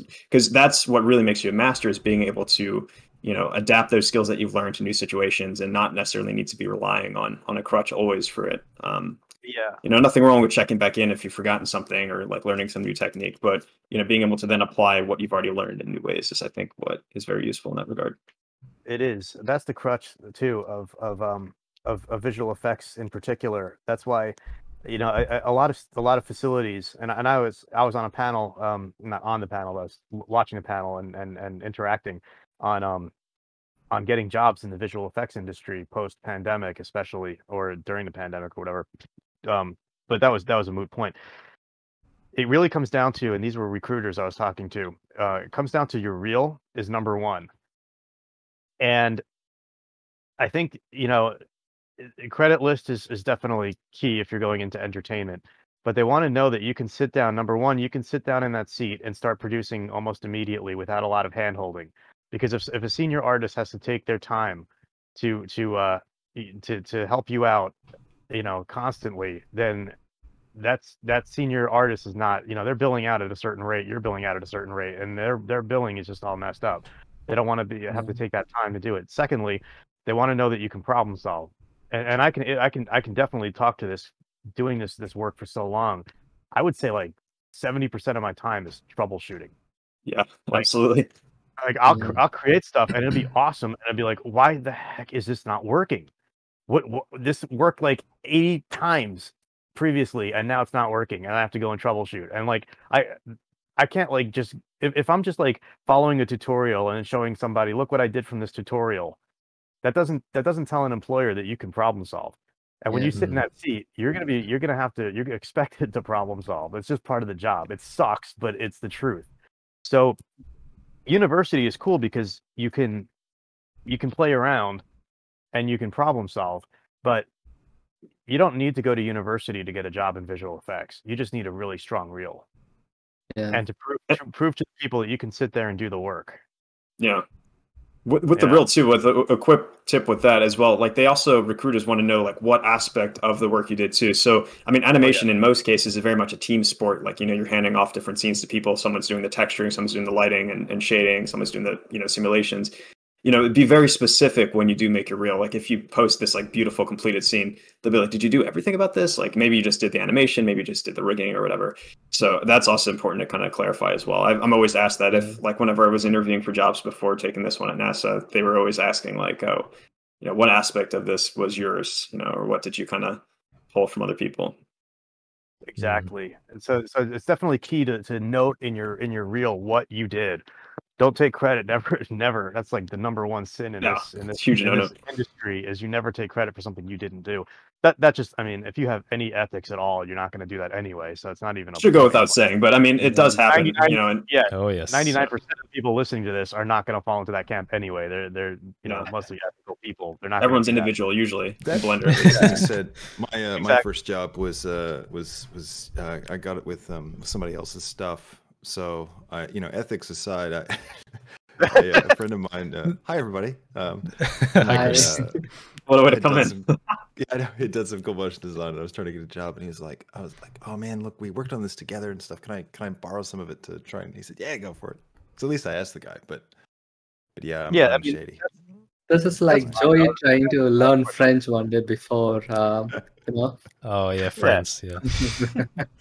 man we had a, Ac- we actually had on, percent of our stuff in this- plain zone on this topic, uh, it's something interesting. I just learned because uh, uh, th- with what I've got going on, because I got um, so I got headhunted to work on this feature film with Paramount, um, and I didn't have any previous experience with animated feature films at all. Um, and the uh, the thing that got me the job was um, that I had stuff on my YouTube channel, right? That was uh, well, two things. One, I was using Blender, and they Yeah. really wanted somebody that was using Blender. And the other thing was um, I had short films on my YouTube channel, and they were Mhm. looking for somebody uh, that you know could tell a story um, and could put a sequence together and could think in terms of sequences. And that was another really kind of I don't know, it was a good tip because it was like uh, you know since I've been on the film, like you know we've we've looked to to bring on other people as well um, into working in the previs department and working in previs specifically like they're looking actively for people that can tell a story using a sequence and go all right you know this is this um, you know not just thinking in terms of shots or uh, some cool like technical part of blender but like how do you string stuff together uh, into some kind of narrative cohesion um, i thought that was really interesting um, and useful information um, That's really interesting. It's usually kind of like a, a cog in the wheel on a feature film, right? Like you're not. I mean, that's usually the director that's that's guiding the whole thing. Storyboard artist, director, going on the previs stuff. Um, but that's really interesting that they want somebody who has that understanding. And I, I mean, I think that's important. I don't downplay that at all. I think that's that's wonderful to have. Um, you know, you're certainly talented. I've seen your, your YouTube stuff, so thanks um, that, that is really interesting to see that that they're looking for that. That's uh, yeah, that's really it was. It is really really cool. cool, and I've I've been surprised too because I've, I've purposely never worked in film in features uh, on a big features because of not wanting to be a cog in a wheel. I've always been afraid of that kind of getting stuck in a job like that. Or of me Um, too. So I've always stayed in commercials and stuff, you know, because it's Mhm. fast turnaround and turning stuff out. But um, you know, the experience has actually been quite different to what I expected. Like when I my first week on the job uh, was, you know, they said, okay, read the script, and then I read the script and I said, okay, um, this is your scene. Here's the scene. Um, we've got some rough boards, but you don't have to follow the boards. Here's the characters. Here's the location. Go for it. Like, give us the sequence. And I got to put the sequence together and like, you know, figure out the shots and try all this stuff out. And, you know, my supervisor collaborated a lot and, you know, came up with this whole interpretation of this part, you know, and then I got to present it to Ron Howard and like, hey, what do you think? And, you know, it was it was nuts because I just I kind of thought I'd be, you know, down on the rung and this sort of you know, but I'm in this really tiny team and we're doing really cool stuff with in Blender for the previs and everyone's losing their minds at how fantastic Blender is for it. And um, all these Maya users are just like they're just falling over themselves like like this is great. Like this is so easy. You mean I can just do it like this? This is all it takes. it's great. Yeah, when I jumped from Maya to Blender, I, I was just blown away, and I, I came in at 2.79. I was like, "What?" And then, then 2.8 came around. I was like, "Oh, you know, I don't. Know. Why do I need to touch Maya again?" I, I mean, Yeah. it's just it's industry standard. When I have to use it, I have it. But oh so, man, so, so hold on, Chris. You got to present to Ron Howard. Um, just a random question: Did he happen to be to be wearing a cap? Um Oh gosh, yes. Wow. Yeah, just just just just wondering, just wondering. Were you on a video call with him? Very consistent. Oh yeah, yeah. Everything's we're in like mega lockdown here in Sydney. Uh, yeah. he was in the UK, but uh, so it, was, Mhm. it was funny. I had I had five minutes. It was, I had five minutes in the meeting, and there were like thirty people on the call.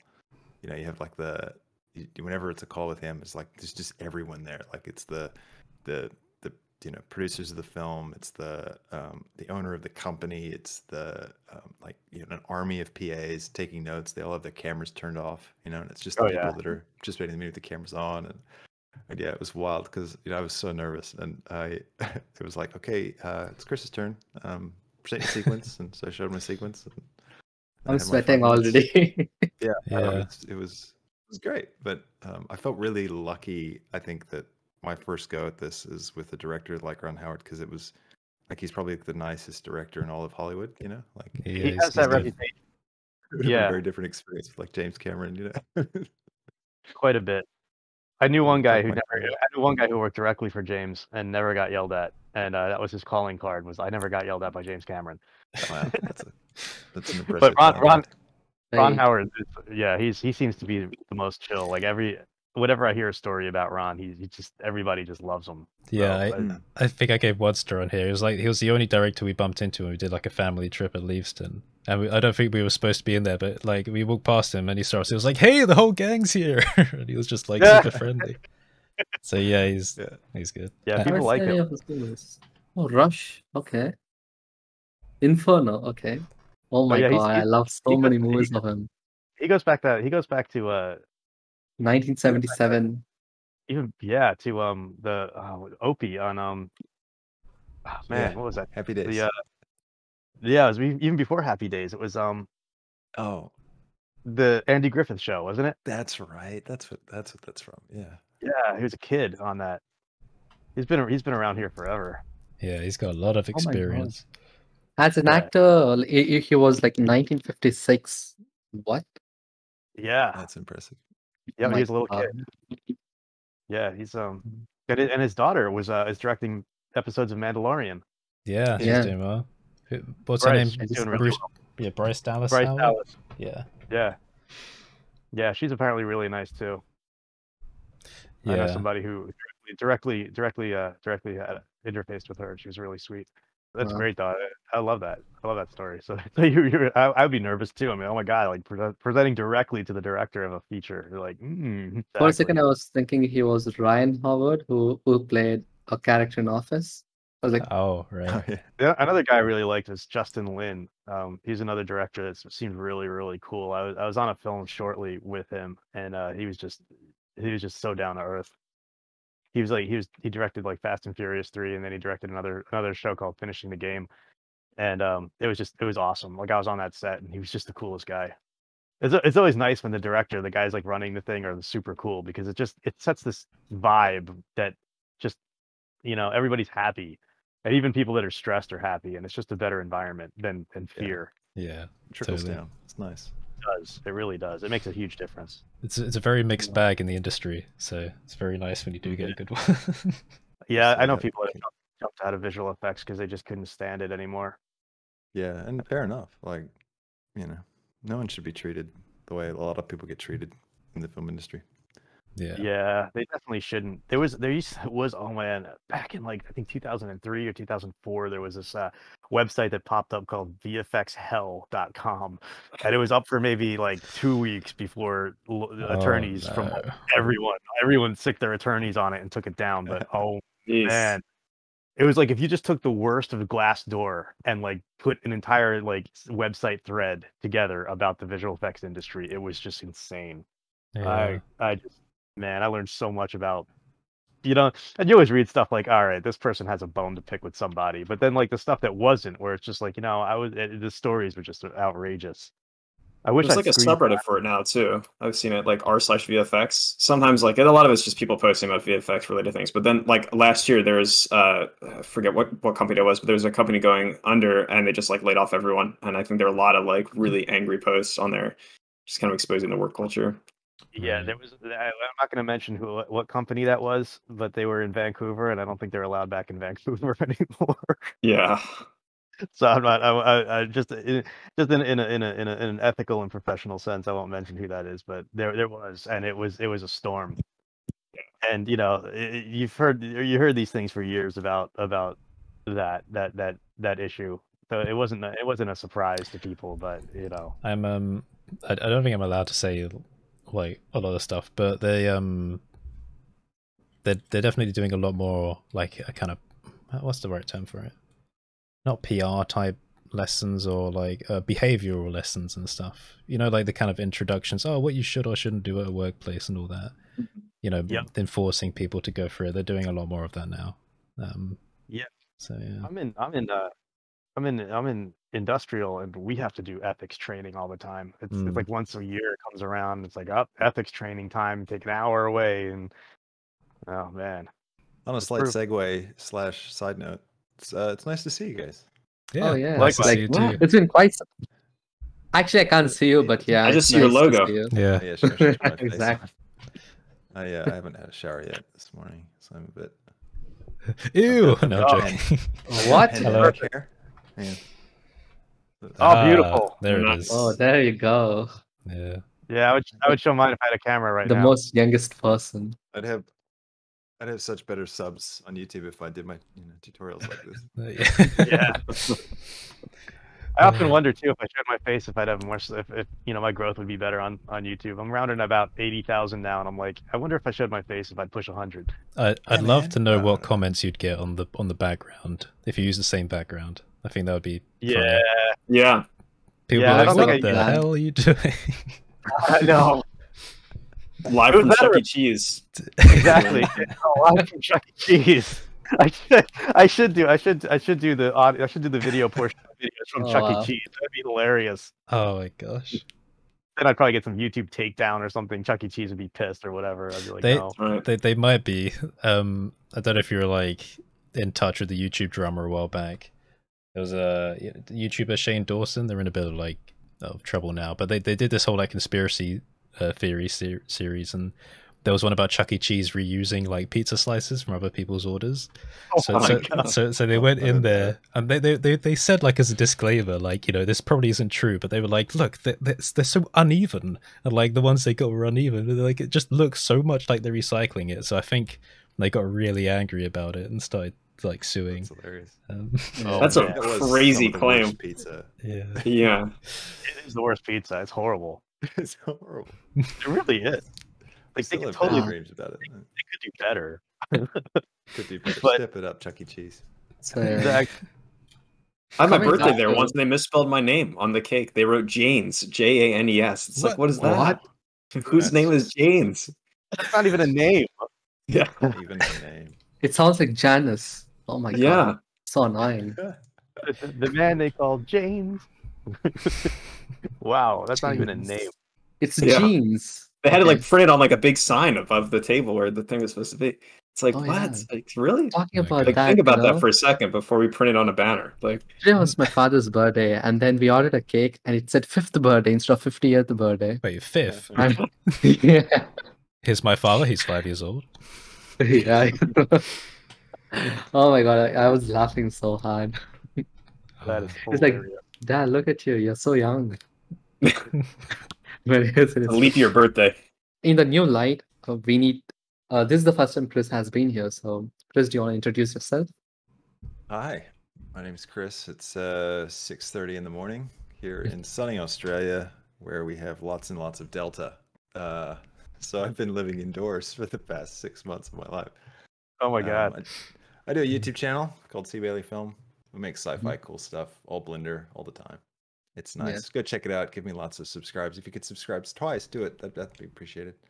And uh, and I have a Patreon that's far more important than all these guys. So drop whatever you're subscribed to and join mine. Thanks. There we go. You Oh, heard the oh.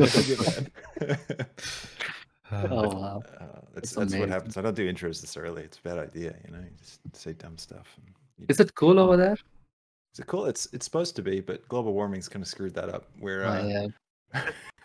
we've been having like summer days every day. It's August, right? So it's like supposed to be the dead of winter here, and uh, it's so hot, so hot. It really makes me nervous for summer because bushfires and stuff Yeah. are gonna be nuts. This Oh, year. yeah. Oh, Yeah. Yeah. we Yeah, here break too. last summer, but mm. We're we're coming out of summer now, but uh we're we're you know the fires are raging. It's raging. yeah, they're raging. We're ooh, Oof. I hope we get some So rain this year. It's No. raining here all the time now, which is good. I love rain. yeah, on schedule. Monsoon season. Mhm. Yeah. What's It's this? category four hurricane hitting Louisiana right now. That's exciting. God. oh yeah. Hey. Yeah. What's it called? Right on the anniversary of Katrina as well, which is interesting. Oh gosh, it? that's, The anniversary of Terrifying. Katrina. That brings back trauma. Yeah. Wow. I went down to the, for the anniversary. after that happened. I did like this Never- volunteer eh. thing and was down there for like a week and Actually? Oh wow. cleaned out uh, flooded houses and stuff. And uh, it was pretty horrific. Like, but yeah, Hmm. Yeah, that was insane. I remember that. I think the place where I live is the most safest place on this planet. It's all surrounded by mountains. Whatever has to happen, it has to happen if there's a volcanic eruption. And there's no volcanic mountains here, so it's all That's true. good for me. It's one of the Yeah, yeah. best I, places. I I also feel Back. pr- pretty safe here in the UK, and like we're like as some of you know on the server, we've been trying to move, but I, I, I keep saying to my parents, just so long as we have elevation, because we have elevation here, and as the water level rises, um, a lot, a lot of England gets flooded, like when when the rivers break and stuff like that. yeah. Like if we have elevation, we're fine because there's like there's nothing predatory on this island. So long as there's no wars, we're, we're good. so fine. yeah. go. As long as twenty feet above sea level, you're fine. Yeah. I'm not. And I'm you screwed. you y'all make uh, what is that? Uh, houses with wood, right? Yeah. Kind of. Who's the question directed to? Yeah, anyone like Anyone? Uh, Oh, we're, we're brick. I made yeah. mine with hay, actually. Cardboard?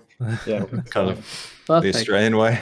A lot of like plaster and drywall and stuff in Uh, there too. yeah. Materials that typically get kind of messed up. Ours are um, I- Cut. thick. Like ours are really thick because it's supposed to keep in all the heat. So yeah. now that the world's been getting hotter, it's not very convenient. Uh, So- Oh, yeah. It's all brick walls, like it's proper stone cemented. That's It's not Better- that's way better than what they do now. So here in the US, there's a lot of these like housing developments that just kind of get thrown up over the course of like a year, and they just all are these like kind of cookie cutter houses that are pretty cheap materials in general, just like a lot of this cheap wood or I don't know, all kinds of like composite materials that they'll just kind of throw up, and it, they're just like so easy to flood if they get hit by anything, just easy to crumble, get water damage and stuff, and it's just they're really poorly made. The insulation's Yeah. terrible. Yeah. One we, uh, thing yeah. that you can see here is like you know you won't have many fire alarms anywhere in any house because there's less wood. I mean, furniture is wood and maybe closets, but other than that, everything is rock solid. Wow. Like, James, what you were saying about the building materials though, because um, like Yeah. he- here it's all thick walls and brick and like very like you can knock it, you can't hear anything on the other side. When we go to Florida, because we've got a place there, Uh, it's exactly what you describe. Like the walls are Yeah. hollow, like pretty much. So when I'm laying in bed, I can hear everything that's happening outside. If you knock on the walls, it sounds hollow, and it's like, oh, this place feels like paper. You know, Yeah. it's very Right. different. Yeah, it's, it's It really it's is. like here in At the end of the day. Very similar. Because like the weather's kind of nice all the time, you know, in theory, and so they don't do much insulation and stuff. It was funny the other day we had a guy checking out, going to renovate a bathroom or something, and we're talking about the window. We're like, oh, you know, we want to make sure it's secure. You know, if we do this, you know, it's, it's kind of easy to open. And he said, look, guys, he said, if anyone wants to break in, all they got to do is take the siding off your house and just kind of claw Yeah. through the wall because Yeah. that's all you got here. Oh, Yeah. man. No, We didn't we didn't feel great after that conversation. Yeah. It's like, oh, thanks. Very nice. I mean, I see a lot of people like punching the wall and breaks. Like what? And then I. Oh yeah, just break right through the drywall. It's like just a piece of cardboard almost. It's just like nothing. Yeah, I mean, it's easy to like break into houses then, right? Isn't it? That's a more What- what are you what are you planning? Yeah. I'm not, I'm not planning anything. I'm, questions. I mean, Mm. it kind of looks suspicious if you look at that, but I'm not. I'm just educational research purposes. saying- Sure. Yeah. How to build an atomic bomb. you. Yeah. As soon as, as soon as airplanes start flying again, look out. Yeah, Oh, no. exactly. Uh, I'm so happy we don't have flying cars yet. Could you imagine the way people drive, but Oh them my in the God, air? Yeah. uh, Have to be yeah, automated. I mean, it's, Probably. The- It's like a Tesla. Yeah, with Yeah. The the reason I don't drive is because of other people. yeah, Uh, yeah. I'm so happy when I work from home and I don't have to commute because people are just nuts, especially in. LA. But I mean, you guys have these like six lane highways. It's just like people are weaving in and out in there. It's just Oh, yeah. crazy. Six lane parking lots. Yeah, Yeah, that's what they are. More so. Yeah. yeah. But then people Yeah. are trying to be aggressive and like driving on the shoulder, like whatever past you, and like that's what's causing the traffic. It's like if we just stay in our lanes, guys. Like we don't need to be like weaving in and out. Just like stay in the lane. So reasonable. I know. There. It's like, It's like Yeah, we think that'd a be light- easy enough. we Uh, had a we had yeah. a guy here. Um, we had a guy here that uh last I think it was like two years ago before the pandemic was like gunning it on the on the side. Traffic was at a standstill because of an accident, and uh, and he started he just decided, decided I don't have to deal with this and starts you know going on the on the shoulder and and gunning it, and uh, he had to stop short and wasn't wearing a seatbelt. Went through the windshield and flew up onto one of the one of the road signs, and he was like hanging. His body was hanging on the road sign. They had to like go and and take him down. He was dead, you know. oh, But uh, yeah, like that's how nuts This- is. It's insane. That happened in LA recently. Oh this was about two years ago, I think, before the pandemic. My god, that's Yeah. I horrific. mean, this, this is the second been warned. time. This guy had been warned before to, you know, to, to be a better driver. He's like, yeah, whatever. mm, Darwin right, Awards. well- This is the Yep. second time uh, I think Kev started a story Insane. and immediately de-escalated immediately to a death. Yeah, Yeah. I was not expecting It's that. I was- it's dark. wow. Sp- It went Speaking of dark, uh, just out of I have curiosity, na- national poll here, and we have a few countries represented. Do people around you in your area do they talk about the pandemic in the past tense yet? Yeah. Oh no, for us, it's still very much in it. I felt Yeah, like in the okay. summer, it was like kind of in the past, like oh, we're over. James? I'm, I I live in the East Coast of the U.S., uh, but I was out in California this summer, and I felt like when I was out there in California, everyone's like, "Oh yeah, like it's summer vacation. No, it's hot girl summer. We're getting outside. We're doing fine. You know, the pandemic's over." But then now that Delta's kind of crept back in, uh, Yeah, you guys are it's starting to deal with that now. The pressure's there again, especially now I'm back on the East Coast. Uh, most people here are vaccinated, so it's been you know a little bit safer feeling. I feel like a little bit more confident about it, but still wearing masks indoors. And I'm a little bit nervous about the fall coming up uh, because Mm. you know it's harder to be outside, uh, dining outside, being outside with friends uh, as the temperature's cool. So. Mm. Yeah, we've got a couple breakthrough infections and stuff. It's it's been a little bit freaky. So I, I still feel like we're very much in it. Um, so it's a little bit nervous. Yeah, Curtis, you're saying that they talk past tense Yeah. since Freedom Day. it's um yeah because we'll say stuff like oh during the pandemic or during the lockdown like it Mm, like it's yeah. it's not now because i mean like we went out yesterday up to london again and like going into museums and stuff they, they, they say oh a mask is advisable but it's not you know anything and then you go in and there's like almost no one wearing a mask and like it's just Yeah. exactly how it was um so Gosh, I, I long for that. Be. Oh, I, I appreciate the, the the safety measures, though. I mean, I'm, I'm definitely like a hyper paranoid, uh, terrified kind of. You know, I, I I'd wear two masks to the shops kind of guy. So you know, but Right. um, I'm just looking forward to it when it's all over one day. What- but yeah, it's funny. I noticed that I was listening to a podcast the other day, and it was they were talking about it in the past tense, and I was like, what? what? What uh okay, what what kind of mask do people wear then? Like what's your everyday do you have like a Uh, most people just use the Like usually kind of uh, blue- so. Yeah, I do the blue mostly. We got some in fives the other day, so I sported it. Ah. And the, the other day when it was really bad, where we were, we were in this like kind of in a bit of a flare moment in our local area. And so I I, I did the blue, and then I did the N five. Oh, okay. I couldn't breathe. I was like, Yeah. yeah. had to had to back off a little bit. I rarely go outside on anything, but then whenever I go out, I use N95. Sometimes I think. Yeah. I don't know. I don't know what I use. I should get Yeah, a I nice just- cloth one with the Blender logo on it. You know, Well, Yeah. actually, right? Like I, use a couple uh, of those sometimes, those cloth ones. merch. My dad got this um really nice um ma- colors of I've masks, got, I've got one like that. Yeah. That's about it. That's, and cool. one was jeans, right? Like one was completely jeans. So whenever I wear like a a jeans, I just put this. It's a cool like streetwear now, seeing the fashion sense with it. Like I, Yeah, you see these yeah. clothing companies like selling masks that are like themed with the clothes that you can wear. It's like this like Yeah. hype beast Wow. kind of thing to it. It's kind of interesting. It's like this punk, I don't know, crypto or uh, whatever it is, like cyberpunk, whatever kind of feel to it. Some of the stuff. I think even Teespring is doing like a YouTuber merch where you can put stuff on it as well. So I thought about it, but Yeah. I, I didn't go through with that. Okay. It'd be a My dad did this thing where he took a picture of his face Too and like so you see his mouth like Oh. on the masks. It's like so weird looking. Oh god, yeah, that's, I, I wanted to get one that just said, "Well, uh, if I lived in America, I would have gotten one that said I'm wearing this for you." Yeah, the, the United States is a. I don't even want to get into it. It's so crazy. I feel for you guys. I know it's hard. so Yeah. crazy. Like if you if you look at like where the pandemic is over, well, it's like it's like Florida and Texas, but they also have the highest case numbers and the ICUs are all full. But the pandemic's Mhm. over. Like I don't, I just don't get. I I know why it's all. I know why, but I'm like just not even. It's the point of contention. It's like guys, there's a deadly virus out there. It might not kill you, but it will kill somebody you know. If you know, and just Yeah. I don't know. Like I, I'm fully vaccinated. It's like I, I wear the mask, you know, to protect other people if I potentially had it. You know, it's just like that But I- sign of respect for for others, you know, around you, and not just being so selfish and, and just foregoing the mask. It's such a, simple thing to do. You'd think more people would be able to do it, but it's so simple. I, I hate wearing a Yeah. mask, but I'll. I do it. I do it.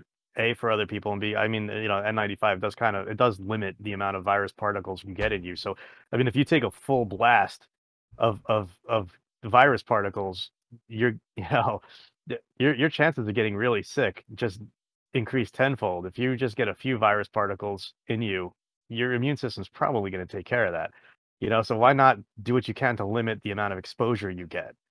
Yeah. even if the mask doesn't fully stop it limit how many virus particles get into your system it's just it, but it's just the, there's such a it's like it's like it's like we're full of a country of teenagers that just never grew up there's so much machismo to it. I think and it kind of harkens back to the story you are just talking about with the guy with the seatbelt. It's like the same thing happened when seatbelts were introduced too. People are like reluctant to wear them because it's like, oh, I don't need to have this protective measure for me. It's just like Yeah. it's you know, if it doesn't like it, it doesn't do its job until it does its job. You know, it's it's like when Mhm. that one moment when you're exposed to it or like you get in an accident or something.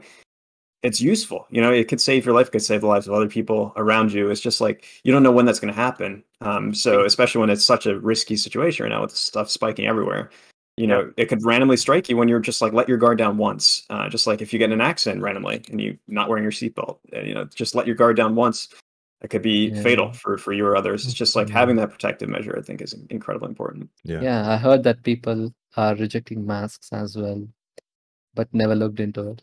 Okay. there, there's yeah there's a concerted effort to get people to hate masks there is a if you look at you look at twitter there's a concerted effort and there are definitely the same people that keep railing against it it's the same messaging all the but it's, it's unified I think it's it's it's happening for a reason. I but it's so stupid. Like it's such an easy thing to do. Just put the mask on your face. Go, oh, Yeah. it's a face. You're wearing a face diaper. All right. Well, now I'm just starting to see these. You know, I'm starting to see stories a- about these people. It's a chin People who are- diaper when you when you're wearing it. You, you've got it off your mouth. You know, it's just hanging. Exactly, There. yeah. It's a chin diaper. Ah, such a big pet peeve. I hate that. Or it's like people that wear them like this with their nose out. yeah, Oh, Ah, Yeah. yeah. It's like I know. completely defeats the purpose. Yeah, it's Um, so funny. It's tragic. like- it's because it's um it's all wrapped up in ideology now. you know, it's, it's- Yeah, it's exactly. It shouldn't have weaponized. had to ever gone that way, but it's politicized Yeah. and but everything becomes politicized you know Yeah. especially when you've got low social cohesion. It's like it, if you've got that going on then good luck. It's just sort of that stuff is going to happen at anything that is mandatory. And it doesn't matter what it's doing or how good it is for you or how bad it is for you it's like people are going to pick sides on it. And if it's suddenly okay that guy says that i've got to wear a mask and that guy believes the things that i hate that means I identify mask wearing with those beliefs, and I'm not going to do it because I don't want to associate with that. And people are so ingrained in those thought patterns that you, you can't get out of it. You know, it's sort of Mm. Become so tribal. um, and when we're so spread out too. I mean, we're not really interfacing really much with people in person now, so stuff is just Mhm. able to be kind of filtered through whatever you interacted with on social media, or just kind of saw something post come up, or of course, whatever. that and was a you're not actually able to. before too. Yeah, like, it's only been magnified. I feel like now that everyone's so spread out, and that Cambridge Yeah. Analytica thing was pretty Yeah. eye opening. Oh yeah. that's crazy. Yeah, that was hugely eye opening. That was Very uh, broad, um, broad barely got- topics we hit on in this, this talk. isn't? Don't worry, we, Yeah. it's always been this way. Yeah, it's Yeah, always been this way. around. But then I think today's was one of the most um, longest conversation after a long I've time. never wow, seen yeah, you guys up at this two hours. yeah, since um, Chris, since since you jumped in, I, I decided to leave it running a bit longer just to get give some time for you as well. Thank you, So we- appreciate Yeah. We can let's go for 15 more minutes. Come on, let's do it. Yeah, Two can- hours. You can try, yeah, Smash the two. You can yeah. you can bat later. But Curtis, like it's nothing fine. is gonna be Aaron's fourteen hour like Oh God. Oh wow, yeah. Oh, Have any of you watched all that all the way through? No, not all I of it, did. all of it. I did. It was like an Yeah, ambient music, you know, his voice. Yeah. It's like one of those like I don't know, lo-fi Aaron. beats, chill hip hop to listen slash study to. Exactly. It's like his soothing Aaron, voice. You put that on, man, Dale. and just yeah. like chill. yeah. Yeah, It's- yeah. I haven't watched all of it. No, I've, I've gotten a decent way through it, but and then I I gave it's one of Yeah. the best resources I think. Like, look, like See how many struggle. views he's gotten on that thing? Like, Yeah, there's a lot of people that have, you know, I think it, you know, it's, I don't know how many ma- reached the end, but Yeah. I think there's a lot of people that have bookmarked it, like me, and go, oh, I need to go, Yeah, go back and save for later. Five minutes. We it. should Save for later. we should ask him what the what his watch retention stats are on that because I want to see the graph. Yeah, Yeah. it would be re- really interesting. Uh, have you guys Yeah. checked out his new course? Mhm. Uh, I haven't Yeah. seen it yet. Seen it, Oh, but I haven't- Geometry Nodes one? Not yeah, yeah, yet, yeah, the one yeah, that Aaron just put out. Yeah, I have to. brilliant, like- brilliant a spur- timing on his part. Is it Sverchok one? That he's no, working no, on? No, no. He's It's working on up now. GeoNodes. Uh, Right now, he's working on GeoNodes. Like he worked on GeoNodes. Now he's working on his workshop course. I want him to do Okay, some woodworking tutorials. Oh yeah, he's pretty amazing at that as well. Like he's. Cabinetry think- with Aaron. Wow. I'd, I'd sub to that so fast. Oh man, that'd be great. He would like blew up just by cutting tree. He would. If you make a new channel, I mean. I would, It'll I would, like- I would, subscribe, I would subscribe to that. And I would immediately have to move out and out of LA just so I could get like a craftsman home, so I could afford a craftsman home and be like, all right, now I can Yeah. do woodwork. Live in the woods somewhere. Yeah. yeah, I'd go up in the woods. Aaron's gotten like so many interesting comments about his voice, and I wish I could remember one of the, one of the funnier ones. Something about like you know falling asleep and all that, but it, didn't he put out? Was was he He um, shared a few of them. on um Twitter? Was he asking like people for like um speaking t- tuition or advice or something? I can't remember. Uh, because he said he was having trouble with um talking for extended periods of time, that it's a bit straining. In one of his video, I said like you know I I, w- I actually slept in between because it was late night and your voice was Your soothing voice. in the comment. Yeah. yeah. And then the next, I got a reply saying that, you know, how could you say it's soothing? It's irritating. I was like, what? I think when something is so is so unique, it becomes divisive just by nature, right? Yeah. So yeah, Becomes politicized. yeah, pol- Yeah. Becomes wrapped, tribal. wrapped up in ideology. Travel. We're gonna see see it on the bro, American news soon. There is Exactly. Steven Scott, whose voice I really love. Oh yeah, Hi, so, Hi, Steven, if you're yeah, watching. so he's got a Scottish accent, and someone commented, "Are you actually Yeah. speaking English?" Like I don't know what what language this is. It's so heavily Scottish. It's so great. I It's such love an awesome, awesome, awesome voice. Hmm. Um, the course that I took on Rebel Way, uh, the mastering environments, he has a Scottish accent and I love it so much. Oh, it's great. Yeah, I know, right? like Gleb's accent. Like, Oh, yeah. I, I love listening to Gleb stuff. Yeah, Belarus. Belarus. Belarus. Belarus. Belarus. I used to call it Belarus um, when I was learning uh, when I was a kid, but then after uh, talking to people, everything changed. I pronounced so many stuff wrong. One of them was environment. I used to call environment. It's like what? Oh, that's how you say it in French. Is That's it? like environnement. Yeah. Environment. Okay, I Uh, never knew okay, about oh, that. Sharon. Okay. Okay, question for you then: epitome or epitome, or like something else? Epitome, right? Epi- Yeah. Hmm. Hmm. Interesting. And I never understood First of like, all- how the Brits you all- get to aluminium from aluminum. Say that, Aluminum, yeah. yeah. Aluminium. That's trickery. Yeah, what is Dude, that? Dude, I think we have a lot of uh, mix and match in our languages, okay? Especially we had like this, you know, the British thing happened 200 years ago. Oh yeah, for the British 200 thing. years. So, yeah, we had the British thing. That little so, blip. um, The thing. that little thing, yeah. yeah, so I think, uh, I mean, they introduced English. So I thought we'll, we'll speak like British people.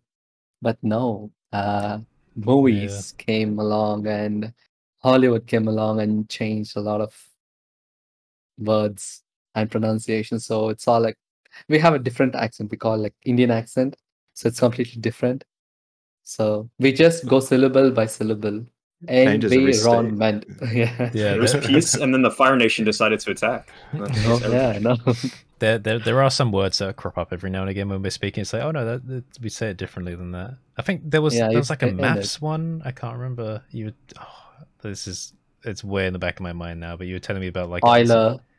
or, or no, it Oh, Oh, wasn't- Euler, Euler, Euler. I don't, I don't yeah. think I don't Oh, think really? it was that. I No think, one knows how to say that. I think it was Okay, yeah. else, What but- do you say, uh, uh, Why- Why does it even exist? I mean, you know, Euler is what I say, but Yeah, Euler, so- Okay. the most annoying rotation system on the planet. yeah. Uh, whenever Yeah. I see it, I With the destroy. fucking gimbal. Oh my god. I forgot that. Did- Someone cut that out. Ah, ah. Nah, that's staying in. Oh, but like, the Bueller, the Bueller system.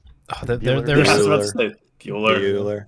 there are so many Yeah. words like when you're doing when you're doing the videos, you, you say it and you're like, someone's gonna comment because like Someone's you- gonna tear me apart for that. Yeah, you can't Oh say my you can't God. say both pronunciations. You have to pick one or the other, and you're like, oh, both is just a suicide. Oh, just go for it. It's, So, have you guys ever like- seen my preamble in? uh There's a CG cookie tutorial, I think, Which one? where what was it? I was oh yeah, one of the I did like a smoke, easy smoke, easy fire, Oh, yeah. something like that Right. tutorial. Yeah. And I do this like I pause right in the moment and said, All right. In my country we say cache. All right. Now I know that you're gonna want to put a comment, but don't put that comment. Just step back, step back from your keyboard. my Okay. And let's move on. it a cat? One thing that always I don't know why it, why it annoyed me, but it like it's an Australian thing because I asked on my other family as well. It's like okay, There's so nothing you, annoying about Australia. So you, so what so you pronounce it data instead of data? Data? Yeah, oh, it's Oh, yeah. data. It's like, no. what? no, no, not, not data. Data. Data. Data. data. That's it. Data. No. Data. Data. We call it Australian data. accent is a fine wine. Yeah. Yeah, I got, I got ripped by a vice president in my first job out of college for saying data. He's like, it's Data. data. We say Data. data. And it was Data. a pharmaceutical data company. So I was like, all right, I'll just start saying data. So now I say data. It's such an interesting. Data. I always just think of Ta-da. Star Oh, Trek. I mean, I used to call food f- uh, food, right? It's food. I eat food. I used to call it food. Yeah, Food. just Food. food. It's like, I mean, for I think. Well, I mean, I can of my life understand that. You're on the that, yeah. you're on the border of Tamil Nadu, right? So like Yeah. the the the kind of syllables you have to hear all the time. You know, that the Yeah, uh, "Vanakkam, eppadi ikkade?" exactly. It's that very sound. Oh, that or the thing that the tongue, right? That's Yes. Tamil. Uh, and mine is Tamil. Telugu, which is yeah, Tamil. Telugu doesn't yeah. quite sound like it, does it? Yeah, Telugu doesn't sound like that. It sounds. Yeah. Do you want to listen? Anyone? The, Yeah, I the guess. language I Telugu. speak. Yeah, let's hear it. What should I say? Yeah, come on. Ask me So a cool. question. I'll reply in Telugu. Uh, okay, Vanakkam, eppadi ikkade? నేను something బాగున్నాను మీరు బాగున్నారా Nice. Yeah. That also, Tamil, like, in India, yes, in Tinnanu. With Tinnara. Basically, Tintinara. Uh, uh, Saptiya. Okay. Did you eat? Yeah. Yeah. It's great. In Tamil, they, mm-hmm. they say, uh, have you eaten? That's the greeting. Uh, and, and the I response is, you know, yes, I've eaten. And then, oh, what have you eaten? And that's how you say, hello, how are you? It's great. I love it. oh my God. Entire culture see, based should, around food. You should see. James' confused face. I yeah, screenshotted it. I need this to be an emoji immediately. Oh no! What? on, no. My face? On that Please. note, Charity, you can't I'm take head random. You can't take screenshots, people. Oh my god! It looked like we are recording. there. Come on, Chris. We are recording this. All right. Oh my hold on. God. Okay, Chris, did you say Um, you're, you're going? yes, I gotta head off. I gotta gotta get ready. Gotta start work. That's But fair. Good to see you guys. Good chat. Nice Yeah. to Nice chat. finally catch one of your Yeah, recording likewise. sessions. I can't believe it. It's the first time in almost a year. Yeah, it's awesome. It's true. Yeah, I'm thanks for coming again. along. And uh, I'm back remember, everyone, go and check out his channel. You have a Hey, good C Bailey Film. Come check me out. Yeah, subscribe to his channel Help and me, help me smash stay. that like button. Help me stay ahead of Aaron. We're racing at the moment. Me and Ah, Aaron are like neck and neck. okay. Uh, All right, hold on. Because I've given Aaron a, a fair number of shout outs, and I think I mentioned your channel maybe twice or something. So we'll try for Oh, it more. No much shout out, yeah. All right. What is Yeah. I've never been featured in your uh, good new channels to check out. Ah, Curtis, okay. uh, Yeah, Curtis, what's going Maybe, on? maybe put me on the list one day. Curtis, I need a shout out, I've always- please. That's my goal. That's You're the probably dream. you're Yes. probably in like this midpoint because I've always tried to do really small people.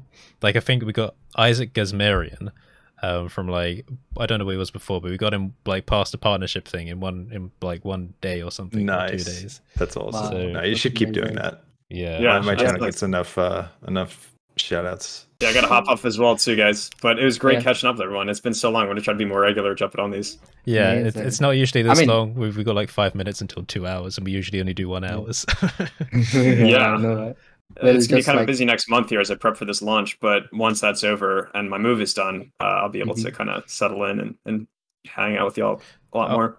or about the uh, about the launch, do you have like tickets to like a seating zone or something? I'll, I'll be just able to go wherever. Um, I'll I'll just be like kind of moving around to different spots, getting different shots of it. Um, I'm kind of like man on the street. I might actually appear on the live uh, broadcast as well too. I did a broadcast back in October where I was one of the co-hosts. Um, so there's a chance I might jump on it uh, as well for this one, which would be fun. Um, Very so I'll be good. right there, front row, watching it. Good. I'll be famous when you if you if you're there, okay? All my friends will be like, What Sharon knows this person? Yes, yeah, I'll let you guys know if you wanted to tune in. It's gonna be really early in the morning. It's like I think five in the morning is the launch Eastern. Yeah. For you, Um, right? Then so it'll be even That actually would work well for you, I think, though, since you're like uh, perfectly. I guess what like ten hours ahead of us or something. twelve point five. Yeah, What's it go? What's it going up on? uh, Atlas Five. Atlas Five. Oh, Cool. we've seen a couple of those. Yeah, When Oh, it? Cool. When is which? October 16th is the when the launch window opens. Uh, sometimes because of delays, like if there's a boat that appears out off the coast, they have to you know postpone it or if there's storms or something. So it opens then, but it's a really tight window because to hit our gravitational um, points that we need to be through for a slingshot out there, it has to be in this like one week period pretty much when we launch. So it's gonna be Is it- sometime in October. Is it ULA? Uh, yes, Yeah, they'll hit it. Cool. yeah. Months. Nice. It's not this. So it should be cool. It's my first ever, so I'm excited to see it. Hopefully, Very nice. Yeah. blast Yeah. off into space. All the best. Yeah. All right. awesome, man. But Keep us good seeing everyone again. Yeah, Glad everyone's doing see well. ya. Catch up more Likewise. soon.